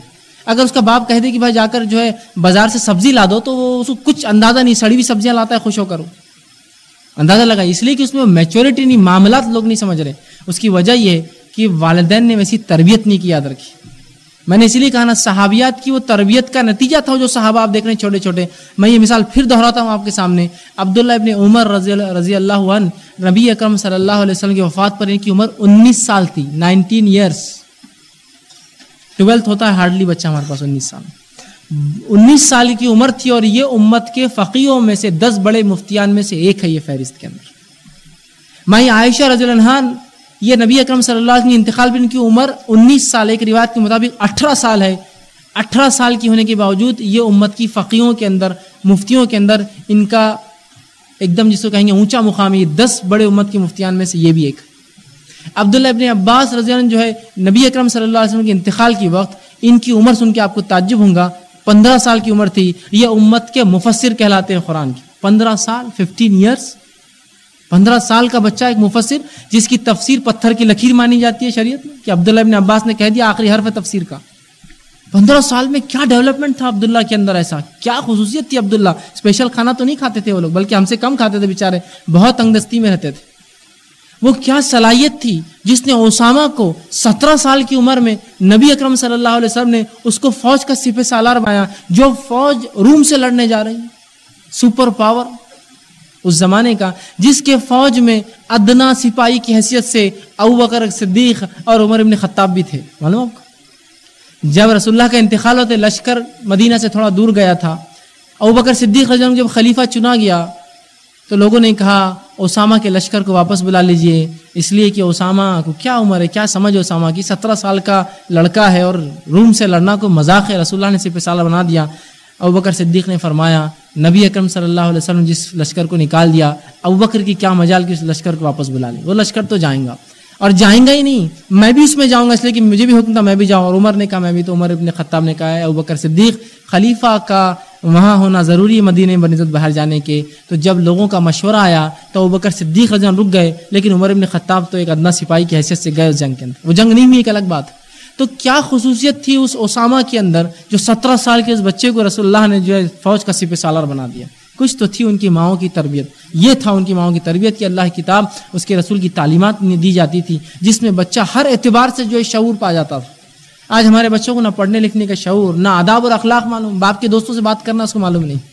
چیزیں خریدنے کی اس کو آداب نہیں مان. لوگوں سے کیسے ملنا، کیسے اٹھنا، کیسے بیٹھنا، کیسے جانا، کیسے آنا، اخلاق نہیں ہے. تو اس کا یہ یہ اس کی وجہ یہ کہ والدین نے ان کی ویسی تربیت نہیں کی یاد رکھی. اور والدین سے قیامت کرو اس پوچھ ہونے والی اس کی یاد تو بچوں کی ویسی تربیت کرے کہ وہ ویسا شعور، ویسا نشر و نما پا جائے کہ بالغ ہونے کے بعد اور کمائیں لگے تو نکاح ہو جائے اور اس معاملات کو سمجھنے لگے، اس کی سنگینی سمجھنے لگے، اس کے احکامات کو جانے اپنے رب کے اور اس پر عمل کریں تو لہٰذا اس کے لیے ماؤں کو سب سے پہلے آگے آنا ہے علم حاصل کرنا شریعت کا اپنے نون نہالوں کو وہ علم دینا ہے جس علم کے بدولت ہم نے ایسی ایسی شخصیات کو دیکھا جو اتنی کم عمری میں اتنے بڑے کارنامے انجام دے سکیں۔ لہٰذا بھائی کا سوال بہت عنوان پہ تھا کہ کیوں ایسا ہوتا ہے؟ تو اس کا نتیجہ یہ ہے کہ ہمارے پاس تربیت کا وہ نظم نہیں ہے جو نظم انسان کو وہ اخلاق وہ عادات اور وہ سینس دیتا ہے جو ایک کم عمر میں انسان نکاح کر کے تمام ذمہ داریوں کو سنبھال سکے۔ خواتین سے بہرحال گزارش ہے کہ وہ اپنے سوالات جو ہے لکھ کر بھیج دیں اور ان کے سوالات ان شاء اللہ عزیز جو عنوان سے متعلق پہلے جواب دی جائیں۔ گے خواتین اپنے سوال اندر سے لکھ کر بھیج دیں۔ بھائی نے ایک سوال کیا کہ ایسا ہوتا ہے کہ بہت سی بار خواتین بھی علم حاصل کرتی ہے اور دینی علم بھی حاصل کر رہی ہیں، لیکن جب یہ نکاح ہو کر کسی گھر میں جاتی ہے تو ساس سسر کی خدمت نہیں کرتی، وہ کہتی ہے میرا ذمہ نہیں۔ اور ظاہر سی بات ہے، شوہر اس معاملے میں پھر وہ ہوتا ہے، کیسے ایسی خواتین کو سمجھائیں؟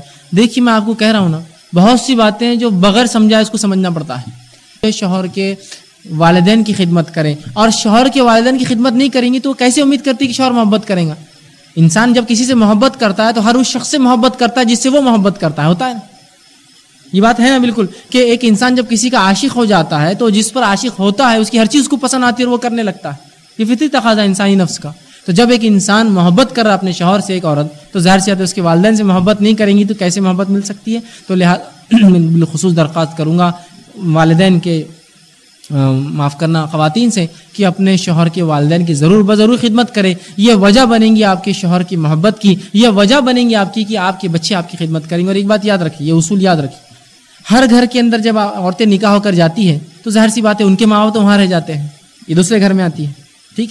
تو یہ اصول بنا لے کہ میرے ماں باپ کی خدمت میری جو ہے جو ہے بھابھی کریں گی اور میں جو ہے ان کی خدمت کروں گی۔ سیدھی سی بات ہے۔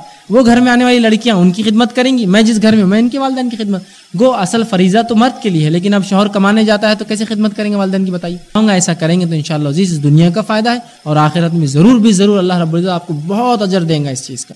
کسی نے ایک سوال خواتین کی طرف سے تو میں لے لیتا ہوں آج جو عورتیں معاشی معاملات میں مرد کے ساتھ ہو۔ اس عورت کا درجہ، درجے میں کچھ فرق ہوگا کیا؟ مطلب جو عورتیں مردوں کے ساتھ معاشی معاملات فائنینشیل چیزوں میں ہے، کما رہی ہے جاب کر رہی ہیں، تو کیا ان کا درجہ اس عورت کا درجہ، درجے میں کچھ فرق ہوگا تو میں سمجھتا ہوں کس اعتبار سے سوال کیا؟ مجھے یہ بات تو واضح نہیں ہو لیکن یقین اس کے درجے میں کوئی فرق تو نہیں آئے گا۔ وہ اپنے گھر کی کام کاج بھی کرتے رہے اور عورت بہرحال بغیر کسی شرعی عذر کے کام نہ کرے، یہ بات تو یاد رکھیں۔ خاموخواہ گھر سے باہر جانا درست نہیں ہے۔ شرعی عذر ہے، مجبوریاں ہیں باپ کے گھر میں باپ نہیں کما سکتا۔ حالات بہت برے تو عورت مجبوراً جا رہی ہے۔ شوہر کے گھر میں گئی شوہر بیمار ہے، بہت مشکل ہے تنگ دستی ہے، اس کی بیماریاں ہیں، پریشانیاں ٹھیک ہے لیکن خاموخواہ شوقیہ طور سے جو لوگ کرتے ہیں نا، یہ بہت بری بات ہے۔ شریعت نے اس کو پسند ہی نہیں کہ آپ کا ذمہ ہی نہیں ہے۔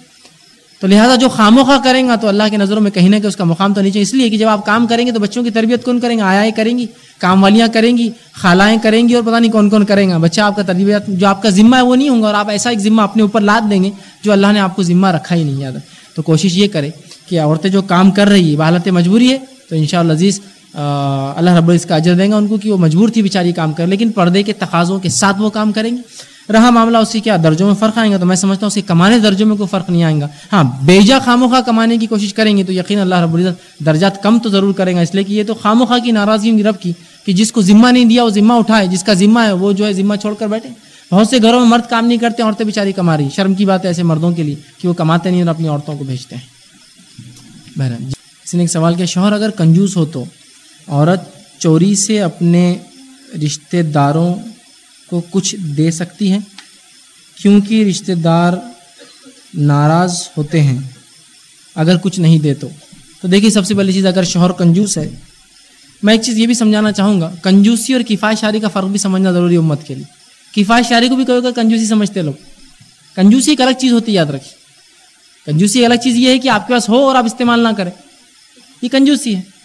سمجھ رہے نا آپ؟ کسی کے پاس اللہ دیتا لیکن استعمال نہیں کرتا، اس کو کنجوسی آپ بول سکتے مثال کے طور پر موبائل خریدتے دس دس پندرہ پندرہ ہزار کے لیے مس کال دیتے ہیں۔ کنجوسی۔ کال کرنا چاہیے آپ نے۔ کنجوسی اس کو بول سکتے آپ۔ لیکن کوئی یہ ہے کہ دن رات بس کسی کو فون لگائے بازو والے کو بلانا تو اس کو کھڑا ہوا ایک منٹ کو بات مت کرو، میں فون پہ بولتا ہوں۔ آ جاؤ ادھر۔ تو یہ ہوں گا بیجا خرچی اسراف ہوں گا۔ کفایت شاری یہ ہوں گا کہ جتنی بات کرنا اتنی کرتے، معاملات باقی کٹ کر دیتے آپ۔ یا پھر آپ کہتے پر سیکنڈ بلنگ والا اچھا پلان ہے، اس لیے کہ جتنا ہے اتنا ہونا چاہیے۔ اچھی بات، یہ کفایت شاری کنجوسی نہیں۔ تو کنجوسی کفایت شاری کو سمجھیے۔ اگر آپ کے شوہر اتنا کماتے ہیں کہ جس کے اندر آپ تحفے تحائف دینے کی طاقت نہیں رکھتے ہیں، تو یہ کنجوسی نہیں ہے، ان کی کفایت شاری ہے۔ اس لیے کہ ان کی طاقت نہیں بیچاروں کی، یا تو پھر ان کو ایکسٹرا کام کرنا پڑے گا، تھک جائیں گے، وہ نہیں چاہتے کرے۔ ٹھیک؟ تو آپ نہ دیں۔ لیکن اگر واقعتا لگتا ہے کہ اللہ نے مالا دولت کثرت سے دے رکھی ہے اور پھر بھی جو ہے کنجوسی کرتے ہیں، تب بھی آپ کو ان کو سمجھانا پڑے گا، بغیر اجازت کے تو نہیں دے سکتے آپ۔ اجازت تو کمپلسری ہوں گی یہاں ہاں وہ شوہر، رسول اللہ فرماتے وہ شوہر جو بیوی کو جائز اخراجات کا بھی خرچہ ایسے کنجوس بھی ہوتے ہیں کچھ۔ تو فرما اس حالت میں اگر بیوی اتنا پیسہ اس کے مال میں سے نکال لے جتنا خرچ کو لگتا ہے، تو اس پہ کوئی حرج نہیں ہوگا۔ صرف کب؟ جب شوہر انتہا کنجوس ہو اور جائز اخراجات، مثال کے طور پہ دو ٹائم کھانا مت کھاؤ، ایک ہی ٹائم کھاؤ، تین ٹائم مت کھاؤ ایک دو ٹائم کھاؤ۔ جائز اخراجات ہے کہ کھانا کھانا انسان کو بنیادی چیز ہے۔ یہ نہیں کہ آپ کہیں گے وہ مرنڈا لا کے نہیں پلا رہا، پان لا کے نہیں کھلاتا، کھانے کے بعد تو میں چراؤں۔ نہیں، جائز اخراجات جو ضروریات ہیں نہ کریں، تب آپ نے فرمایا، اپنے لیے اور بچوں کے لیے کچھ نکال لے۔ تو ایک صحابی نے صحابی اللہ کا تو کتنا؟ تو کہا، کتنا عورتیں نکالتی بس اپنے خرچے کے تھوڑا سا نکال لے، بس تو بس۔ تو اس پہ تیرے پہ کوئی حرج نہیں ہے، کوئی گناہ نہیں ہوگا، لیکن اس سے زیادہ چوری میں آئیں گے، یاد رکھیں، ٹھیک ہے؟ لیکن اگر شوہر آپ کی کنجوس نہیں ہے اس اعتبار سے، کفایت شار ہے یا مجبور ہے، کم تنخواہ ملتی ہے، تو میں گزارش کروں گا، آپ بالکل ان کی اجازت کے بغیر نہ دیں۔ یہی آپ کی دنیا کے لیے بہتر ہے، یہی آخرت کے رشتے دار کیا تحفہ لیں گے، خوش ہوں گے، کبھی ناراض ہوں گے، پھینک دیں گے۔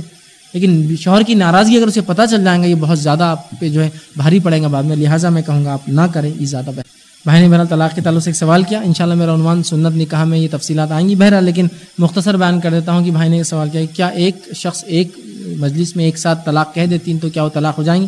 تو دیکھیے شریعت کی روح سے، کتاب و سنت سے ایک مجلس میں اگر ایک انسان لاکھ بار بھی طلاق طلاق کے الفا ادا کر دے تو وہ طلاق ایک ہی مانی جائیں گی اس کی۔ وہ ایک ہی طلاق مانی سوائے اس کے۔ کہ اس عورت پر اس شخص نے زنا کا الزام لگایا اور دونوں نے ایک دوسرے پہ قسمیں کھا لی ہوں۔ جو شریعت کا طریقہ ہے کہ مرد اگر بیوی پہ الزام لگائے کہ اس نے زنا کیا تو دونوں قسمیں کھاتے ہیں اللہ کی۔ اس معاملے میں تو اس کی ایک ہی جھٹکے میں طلاق ہو جائیں گے۔ اس لیے کہ یہاں آپ سوال ہی نہیں کہ دونوں ساتھ رہیں گے۔ نبی اکرم صلی زمانے میں بھی ایسے لوگوں کی طلاق فوراً ہو جاتی۔ تب تو ٹھیک ہو گیا کہ آپ کو طلاق دینا ہے۔ لیکن اگر کسی نے غصے میں کہہ دیا ہوتا ہے انسان، طلاق طلاق طلاق، بول دیتا بیٹھے بیٹھے، ٹھیک؟ تو کیا یہ ہوں گی؟ تو بہرحال ایک مجلس کی ایک بیٹھے کی طلاق ایک مانی سوائے اس کی کہ ابھی ایک کہا ہو پھر ایک دو تین بات کہا ہو یا ادھر جا کے ایک کہہ دیا، پھر ادھر ایک کہا ہو، تو یہ تو تین مانی جائیں گے۔ لیکن اگر ایک ہی ٹائم پر کہتا ہے، تو وہ ایک ہی مانی جائیں گی۔ اللہ کے رسول صلی اللہ علیہ وسلم کے دوروں میں طلاقیں ایسے ہی ہوتی تھی اب رہا مسئلہ کہ عمر ابن خطاب رضن کے دور سے طلاق ایک بیٹھک میں تین مانی جاتی تھی۔ تو اس کے تعلق سے بات یوں آتی تھی کہ عمر ابن خطاب رضن کے دور میں لوگوں نے طلاق کو مذاق بنا دیا تھا۔ اور لوگ کیا کرتے تھے مذاق کے لیے؟ ان کو معلوم تھا کہ ایک بیٹھک میں تین طلاق ایک ہی ہوتی۔ طلاق طلاق طلاق تجھے چھوڑ دیا، جا، کچھ مسئلے پر وہ بیچاری پریشان ہوتی، تھکار جاتی، پھر لوگ مناتے، پھر بولتے اچھا ٹھیک ہے، رجوع کر لیتے۔ اس لیے کہ ایک بیٹھ، تین ہو جائے۔ عمر ابن خطاب رضن جب دیکھا کہ لوگ طلاق کو مذاق بنا رہے تو کہا، اب آج کے بعد جو انسان میرے پاس کوئی بات لائیں گا کہ اس نے ایک مجلس میں تین بار کہا، میں اسے تین طلاق مان لوں گا تاکہ لوگ اس کا کھلواڑ، چھوڑ دے طلاق۔ تو تب لوگوں نے اجتناب کیا اور پھر نہیں کہنے لگے۔ تو رہا یہ لوگ بولتے ہیں کہ آپ عمر ابن خطاب کو نہیں مانتے، اس کا مطلب رضی اللہ عنہ کہ وہ طلاق طلاق ہو جاتی۔ دیکھیے، کچھ مسئلوں میں تو وہ چیز مانی جائیں گی، اس لیے میں نے کہا، کچھ مسئلوں مانا جائیں گا کہ ایک بیٹھک کی تین طلاق تین ہو جائیں گی۔ بہت سے ایسے مسائل جائیں یہ ہو سکتا ہے۔ ہر مسئلے میں نہیں ہو سکتا ہے۔ جہاں مثال کے طور پر ایک انسان ہے، اس نے غصے میں بول دیا تین بار۔ اب کیا یہ ہوگی تین؟ تو میں کہوں گا ایک ہوئی۔ لیکن لوگ اس کو ماننے کو تیار نہیں کہ شریعت میں ایک ہوتی۔ ہاں اس کو تیار ہے کہ حلالہ کرا لیں گے۔ شادی کرا دو اپنی بیوی کی کسی سے جو ابھی طلاق دیے تین، پھر اس کو دو تین دن، چار دن اس مرد کے ساتھ رہیں گی کوئی، اور اس کے بعد لیں گے۔ کتنی شرم کی بات ہے، تھوکنے والی بات ہے کہ شریعت نے حل دیا اس کو چھوڑ کر، آپ اس طرح سے زنا کاری کرتے معاشرے کے اندر۔ اور نبی اکرم صلی اللہ علیہ وسلم نے لانت بھیجی ان لوگوں پر جو جو ہے جس کو ہے، اس طرح کے نکاح کرتے ہیں، جس کے اندر انسان جو ہے بس تھوڑے دن کے لیے نکاح کرتا ہے عورت سے اور اس کو بہرحال لا کر پھر چھوڑ دیتا ہے۔ حلالہ جس کو کہتے ہیں۔ حلالہ یہ نکاح حرام ہے شریعت۔ تو لوگ حلالہ حرام کرنے کو تیار ہے لیکن یہ طلاق ماننے کو تیار نہیں۔ اندازہ لگائی کیا ہٹ درمی ہے ہماری؟ اور اس کو سمجھنے کی ضرورت ہے۔ اس کو تعصب کے چشمہ نکال کر آپ دیکھیے، آپ اگر تعصب میں ہی کریں گے تو بہت مشکل ہو جائیں گے۔ تعصب میں لوگ کرتے ہیں۔ نہیں نہیں نہیں، یہ تو ہمارے مسئلہ کے خلاف ہے، فلاں ہے۔ مسلک اور یہ سے ہٹ کر اونچا ہے کتاب و سنت۔ مسلک تو اس کی تشریح ہے۔ لیکن آپ وہ تشریح کوئی بولیں گے، یہ اس سے بھی مقدم ہے تو کوئی بھی انسان بولیں گا بے خوفی کتاب و سنت مقدم ہے، اس کے بعد مسئلہ کے اور تمام چیزیں ہیں۔ تو آپ کہیں گے جو کتاب و سنت میں مسئلہ کلیئر ہے تو آپ کہیں گے، نہیں نہیں، وہ ہمارا فلاں ہے تو ہم نہیں مانیں گے۔ تو یہ ہر درمی یاد رکھیے۔ قرآن و حدیث کی روح سے جو ہے ایسی طلاق ایک مانی جائیں گی۔ ہاں کسی کا ارادہ پرمنٹ دینے کا ہی تھا، اب چھوڑنا ہی تھا ہمیشہ کے لیے، تو بہرحال ایک الگ شکل ہے وہ مان لے ہوتی لیکن بہرحال عام حالت میں اگر رجوع کرنا چاہے، تو میں کہوں گا وہ جو حلالہ کرتے ہیں، اس سے اچھا شریعت میں طریقہ موجود ہے۔ آپ اس چیز کو لے لیں۔ اور فقہ نے بھی اپنے فقہ کے اندر ایک مجلس کی تین طلاق کو طلاق بدی کہا ہے۔ طلاق کی دو قسمیں آتی ہے اگر جس نے فقہ پڑھا ہوں گا تو وہ جانتا ہے۔ طلاق سنی اور طلاق بدی۔ طلاق بدی اس کو کہتے جو ایک مجلس کی تین طلاق، اور طلاق سنی اس کو کہتے جو تین مجلسوں میں الگ الگ دی جائے۔ تو دیکھیے، فقہ سمجھ رہے اس چیز کو۔ عوام کا کام ہے اس مسئلے کو سمجھے، اس کی سنگینی کو سمجھے۔ اگر ایک انسان نے کھلواڑ کی نیت سے یہ کام کیا، تین طلاق ساتھ دیا، تو مان لیجیے اس کی تین۔ جیسا عمر ابن خطاب رضی نے کیا، تاکہ اس کو نصیحت اور عبرت ملے۔ معاملہ رہا کہ اس نے غلطی سے دے دیا، غصے میں دے دیا، تو آپ چھوڑ دیجیے، اب دو باقی ہے رجوع کرنے دیجیے اس کو۔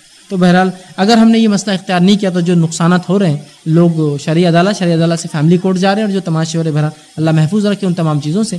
ہمارا کام ہے کہ جو شریعت کو جانے اور اس کے مطابق عمل کرنے کی ہم کوشش کریں۔ اگر لڑکی کوئی رشتے، رشتہ پسند نہ ہو، لیکن اس کے والدین کا خیال میں صحیح ہو، صحیح رشتہ ہے، تو اس مسئلے کا حل کیا ہو سکتا ہے؟ لڑکی کو کیا فیصلہ لینا چاہیے؟ مہربانی کر کے بتائیے۔ دیکھیے، اگر ایک والدین کسی کسی لڑکی کے تعلق سے اس کا والد رشتہ طے کر رہا ہے، تو سب سے پہلی چیز تھی کہ ولی کو حق ہے کہ وہ رشتہ طے کرے۔ لیکن اگر لڑکی بالغ ہے، نابالغ ہے، تو ولی سیدھا رشتہ طے کر سکتا ہے۔ جیسے عمر، ابوبکر صدیق رضی اللہ نے بغیر عائشہ رضی اللہ کی اجازت کے نکاح طے کیا تھا، اس لیے کہ ابھی آپ بالغ نہیں تھی لیکن لڑکی جب بالغ ہوں گی تو ایجاب و قبول ہوں گا اس سے پوچھا جائے گا یہ نکاح کے شرائط میں سے ہے۔ ٹھیک؟ تو پوچھا جائے گا۔ تو اب اگر لڑکی بالغ ہے تو ولی اس سے اجازت لے، پوچھیں۔ اگر لڑکی کو لگتا ہے کہ میرے لیے مناسب نہیں ہے، تو ولی منا سکتا ہے، لیکن اس کے مرضی کے خلاف نہیں کر سکتا ہے۔ اور میں لڑکیوں سے بھی کہوں گا، والدین آپ کے تعلق سے زیادہ اچھا سمجھتے بنے بت آپ کے خود نفس کے۔ تو میں کہوں گا، اگر والد نے کچھ سوچا ہے، تو ان کی سوچ درستی ہوں گی۔ سوائے اس کے کہ وہ بے دین ہے شرابی ہے کفری عمل کرتا ہے، شرک عمل کرتا ہے، خرافات کرتا ہے۔ اور آپ کو پتہ ہے، والد کو نہیں، تو آپ ایکسپلین کیجیے، سمجھائیے۔ کہ میں نہیں کر سکتی ہوں۔ لیکن یہ بات بھی اپنی جگہ درست اور اٹل ہے کہ لڑکی کی جات کے بغیر نکاح نہیں ہو سکتا۔ اور یہ بات بھی اپنی جگہ اٹل ہے کہ بغیر والد کی ولی کی رضامندی کے بھی نکاح نہیں ہو سکتا۔ دونوں راضی ہو۔ تو میں یہ کہوں گا، آپ لڑکی کی خصوصیتیں دیکھے والد کی وجہ دیکھیے۔ اگر جینوین ریزن ہے اچھا وجہ ہے، تو بالکل میں کہوں گا ہاں کہہ دیجیے کوئی مسئلہ نہیں۔ لیکن آپ کی رضامندی بھی ضروری ہے اور دونوں کی رضامندی اپنی جگہ ضروری ہے۔ نہ بالغ ہو تو والد رشتہ کر سکتا ہے۔ بالغ لڑکی کے تعلق سے یاد رکھیے، اس کی رضامندی ضروری، ایجاب و قبول بولتے ہیں اس کو۔ پوچھنا کہ بھائی آپ نے منظور کیا کیا؟ ضروری ہے۔ تو دونوں مل بیٹھ کر بیٹھی۔ پازیٹیو نگیٹوس نکالیے میں ہمیشہ کہتا ہوں، والدین اور بچوں سے مل کر بیٹھی آ کر۔ سر لڑائی ایک دوسرے سے اور پازیٹیو کیا نگیٹو کیوں نہیں بول رہے بیٹا؟ آپ کیوں ہاں بول رہے؟ میں کیوں بول رہا ہوں؟ میری وجہ یہ آپ کیوں نہیں بول رہے؟ یہ مشورے کیجیے نا آرام سے۔ ٹھیک ہے۔ اس میں ان شاء اللہ اللہ رب العزت مشورے برکت ہے۔ کچھ نہ کچھ اچھے نتیجے پہ ضرور آپ کو لائیں گا۔ لیکن میں بہرحال یہ بات کہوں گا کہ اپنے والدین کی ضرور سنیں بالخصوص والد ولی ہے آپ کا۔ اگر وہ کچھ سوچتے ہیں اچھا تو میں سمجھتا ہوں خیر ہوں گا۔ سوائے کوئی کھلے حرام کی یا کوئی شرعی غلطی اگر وہ کرتا ہے تو آپ بتائیے ان کو۔ ہو سکتا ہے اس کے تعلق سے بھی کوئی جواز یا کوئی بات ان کے پاس ہو کہ نہیں، وہ غلطی سے ہوا تو فلاں اور مل کے بہرحال یہ مسئلے کا حل کیا جا سکتا ہے۔ بہن نے ایک سوال کیا کہ میں نے جو حدیث بیان کی کہ رسول اللہ صلی اللہ علیہ وسلم کے زمانے میں عائشہ نے جو ایک واقعہ میں بیان کیا کچھ عورتیں بات کری تو یاد رکھیے، اس واقعے کے اندر وہ ایک دوسرے کی برائیاں نہیں بیان کر رہی تھی۔ ہر عورت اپنے شوہر کی کیا خصوصیت فوقیت بیان کری کوئی کہہ رہا تھا کہ میرا شوہر تو فلاں ہے جو میرے بارے میں یہ کرتا ہے۔ دوسری نے پھر اپنا بتایا کہ میرا شوہر تو فلاں ہے کہ اپنی ماں کی بہت زیادہ سنتا ہے اور میری بھی سنتا ہے اور ہم کو بھی لا کے دیتا ہے، ان کو بھی لا۔ سب ان کی کچھ نہ کچھ خصوصیت بتا رہی تھی، کوئی غیبت نہیں کر رہا تھا وہاں۔ صحابیت سے کبھی توقع نہیں کہ وہ غیبت کرے۔ ٹھیک ہے؟ اور کوئی اچھے مسلمان سے توقع نہیں، غیبت کرے۔ غیبت نہیں کر رہے تھے وہ، بلکہ ہر عورت دوسرے کو بتا رہی تھی اس کا شوہر کیسا ہے۔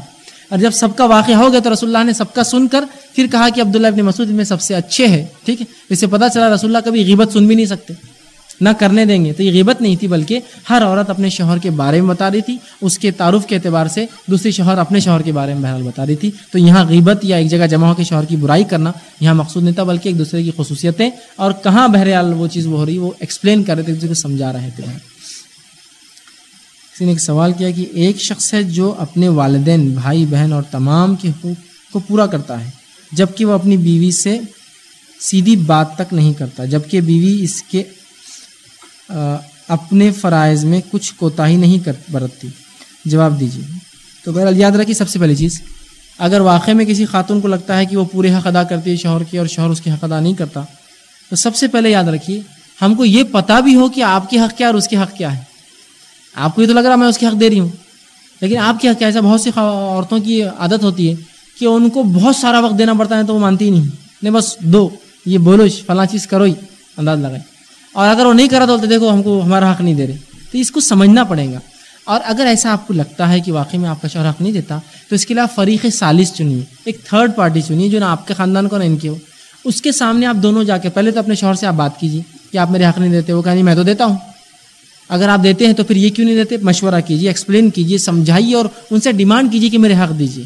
اگر وہ پھر بھی کہے کہ نہیں، میں تو دیتا ہوں، تو پھر ایک فریق سالس بنائیے۔ تھرڈ پارٹی اس کو بٹھائیے۔ دونوں اپنی بات رکھے وہ ڈیسیجن سنا دیں گا آپ کو اور اس کے فیصلے پہ آپ جو ہے مطمئن ہو جائیے پھر۔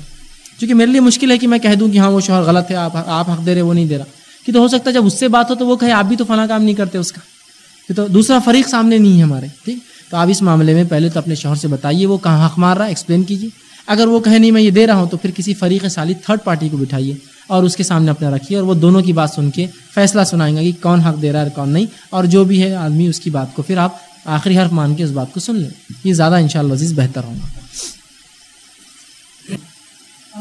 جی بھائی نے ایک سوال کیا کہ اگر میاں بیوی کا طلاق ہو جائے، پھر وہ رجوع ہونا چاہے، پھر طلاق ایسا کتنی بار ہو سکتا تو اگر شرعی اعتبار سے ایک شوہر نے ایک بیوی کو طلاق کہہ دی کہ میں نے تمہیں طلاق دیا، اور اس کے بعد جو ہے اس کی عدت گزر گئی، تین حیض جو اس کی عدت گزر گئی، اس کے بعد اگر یہ چاہتے واپس رجوع ہو، چونکہ اس نے ایک ہی طلاق دی، تو وہ اس سے رجوع کر سکتا ہے واپس۔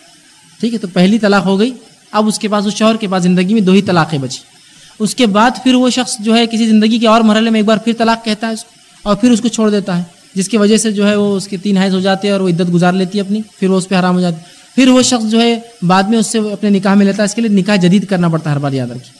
پھر وہ اس کو اپنے نکاح میں لیتا ہے، تو یہ دوسری بار ہو۔ اب زندگی میں اس کے پاس ایک ہی بار باقی ہے، تو ایسا دو بار واپس لے سکتا ہے، ٹھیک؟ اگر وہ شرعی اعتبار سے دے تو۔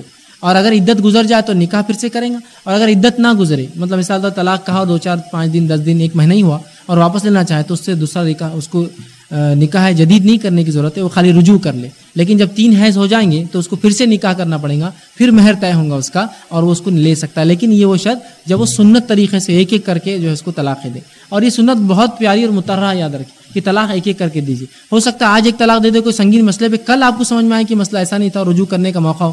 اور بالخصوص جب اولاد ہو جائے تو طلاق کے بارے میں کبھی سوچنا بھی نہیں چاہیے والدین۔ ورنہ یہ بچے جو ہے، یہ پورا جو ہے خاندان برباد ہوتا ہے اور یہ نسل برباد ہو جاتی ہے۔ تو لہٰذا اتنے چانس ہیں کہ آپ شرعی اعتبار سے ایک طلاق دے، پھر چھوڑ کر رجوع کر سکتے، پھر دوسری بار دے، پھر رجوع، پھر تیسری بار یہ آخر ہوگا اس کے بعد اس عورت سے آپ کا نکاح نہیں ہو سکتا۔ ہے بہرحال بھائی نے جو سوال کیا سورہ حذاب کی آیت نمبر پچاس، تو وہ جو آیت کا معنی ہے وہ یہ ہے کہ اللہ کے رسول صلی اللہ علیہ وسلم کو اگر کوئی عورت اپنی طرف سے اپنی نفس ہبا کر دے کہ میں آپ سے نکاح کرنا چاہتی ہوں یا آپ مجھے اپنے نکاح میں لے لیں، تو نبی کو اختیار ہے کہ وہ کر سکتا ہے۔ تو یہ عمل آپ صلی اللہ علیہ وسلم کے لیے خاص تھا، یاد رکھیے۔ یہ امت کے لیے یہ مسئلہ نہیں ہے۔ تو یہ نبی کے ساتھ یہ عمل خاص تھا کہ کوئی عورت آگے جیسا رسول اللہ کے پاس بہت سی عورتیں آتی بھی تھی ایک واقعہ مشہور ہے کہ خاتون نے آ کے اللہ کے رسول مجھے اپنے نکاح میں لے لیجیے۔ آپ نے کہا میں ضرورت محسوس نہیں کرتا، تو کہا میرا نکاح کسی سے کروا دیجیے۔ ٹھیک ہے؟ تو بہرحال یہ ایک خاص صورت ہے جو صرف نبی کے لیے کہ خاتون آ کر کو کہے اور نبی چاہے تو اس سے پھر ہاں بھائی نے کیا کہ کیا خالہ کی لڑکی پھپھو نہیں، تو ان سے نکاح ہو سکتا ہے۔ جو بھی آپ کا محرم نہیں ہے، اس سے آپ کا نکاح ہو سکتا ہے۔ اور آپ کا محرم کون ہوگا آپ کی والدہ، آپ کی سگی بہنیں، آپ کی سگی خالائیں، آپ کی سگی پھوپیاں ٹھیک؟ یہ آپ کے لیے محرم۔ اسی طرح آپ کے دادی اور اس سے اوپر کی پوری نسلیں، اسی طرح آپ کی نانی اور اس سے اوپر کی پوری نسلیں، اسی طرح آپ کی سگی بھتیجیاں، اسی طرح آپ کی سگی بھانجیاں۔ لیکن اس کے علاوہ جو رشتے ہیں، خلیری بہنیں پھپری بہنیں، چچیری بہنیں، یہ سب آپ کی محرم نہیں ہوتی، یہ غیر محرم ہے۔ اور ان سے بالکل نکاح ہو سکتا ہے تو آپ نکاح کر سکتے ہیں، اس میں کوئی حرف نہیں۔ اچھا بھائی نے سوال کیا کہ کوئی خاتون ہے جن سے نکاح کرنے کا ارادہ یا نکاح طے ہے، جو بھی ہے، لیکن وہ شرک میں ہے مبتلا، تو کیسے اس اس خاتون کو سمجھائیں؟ تو یاد کہ اس میں تو سب سے پہلی چیز کوئی مومن کسی مومنہ سے مطلب ایک ایسی خاتون سے نکاح طے کریں گا رشتہ جو بہرحال مسلمان ہے۔ تو یہ غیر مسلم کا مسئلہ ہٹ گیا، مسلمان ہے۔ اب ایسی مسلمان خاتون جو شرک میں مبتلا ہے، آپ کیسے سمجھائیں؟ تو یاد رکھیے، سب سے پہلے تو ایسی خاتون سے آپ نکاح کے لیے پیغام ہی مت بھیجیے۔ اور اگر پیغام بھیجتے تو یہ شرط لگائی کہ ہمارے پاس یہ نہیں ہوتا تو آپ یہ کام نہیں کریں گے۔ اور اگر ان کو منظور ہوں گی وہ چیز، تو انشاءاللہ نکاح میں آ جائیں گے۔ اگر منظور نہیں ہوں گی تو چھوڑ دیں گے۔ لیکن اگر آپ نکاح کر لیں گے اور سوچیں گے ان کی زندگی بدلیں گے تو بہت ممکن ہے کہ وہ بعد میں زندگی نہ بدلے اپنی۔ اور آپ کے بچے بھی جو اسی شرک اور بدت اور خرافات پہ زندگی جیے، تو میں یہ کہوں گا کہ نکاح کے وقت ہی بچی کا دین دیکھا جائے گا۔ رسول نے اس لیے فرمایا کہ لڑکیوں کو دین کے لیے نکاح کرو، ان کی دینداری کے لیے۔ اور دینداری میں ظاہر سی بات، توحید پرست ہونا سب سے پہلے متب سنت ہونا۔ تو آپ ایسی ہی لڑکیوں کو نکاح رشتہ بھیجیے۔ اور ایسا نہیں ہے تو بہرحال مجبوری دیکھا جائے گا، پھر آپ شرط لگا سکتے ہیں کہ بھائی مجھے یہ سب چیزیں نہیں چلتی، اگر راضی ہو جاتے ہیں بہت اچھی بات ہے، راضی نہیں ہوتے تو آپ بہرحال احتیاط کریں۔ میں سمجھتا ہوں زیادہ بہتر ہے۔ بنسبت لا کر سدھار لیں گے، بہت مشکل ہوتا ہے، یاد رکھیے۔ بھائی نے پوچھا، مہر چونکہ حق ہے لڑکی کا، تو کیا اس میں کچھ فیصد طے ہے کہ اتنے فیصد مہر دیں یا کیا دیں؟ تو یاد رکھیے، مہر طے نہیں ہے۔ کتنا بھی مہر آپ باندھ سکتے ہیں۔ میرا بولنے کا مقصد یہ تھا کہ انسان لاکھ روپیہ اپنے ولیمے میں خرچ کرتا ہے، تو کیا دس ہزار مہر باندھنا چاہیے؟ کچھ فیصد ہونا پرسنٹیج مہر باندھتے سات سو روپیے، ہزار روپیے۔ ابا دادا نے باندھے ستر روپئے تو پوتا بھی ستر روپئے باندھ رہا ہے۔ یہ کوئی طریقہ چھتیس روپئے بتیس روپئے سات سو چھیاسی، لاکھوں روپے خرچ کرو، سات سو چھیاسی مہر کر مہر ایسا دیجیے کہ کچھ پروپوشن ہو۔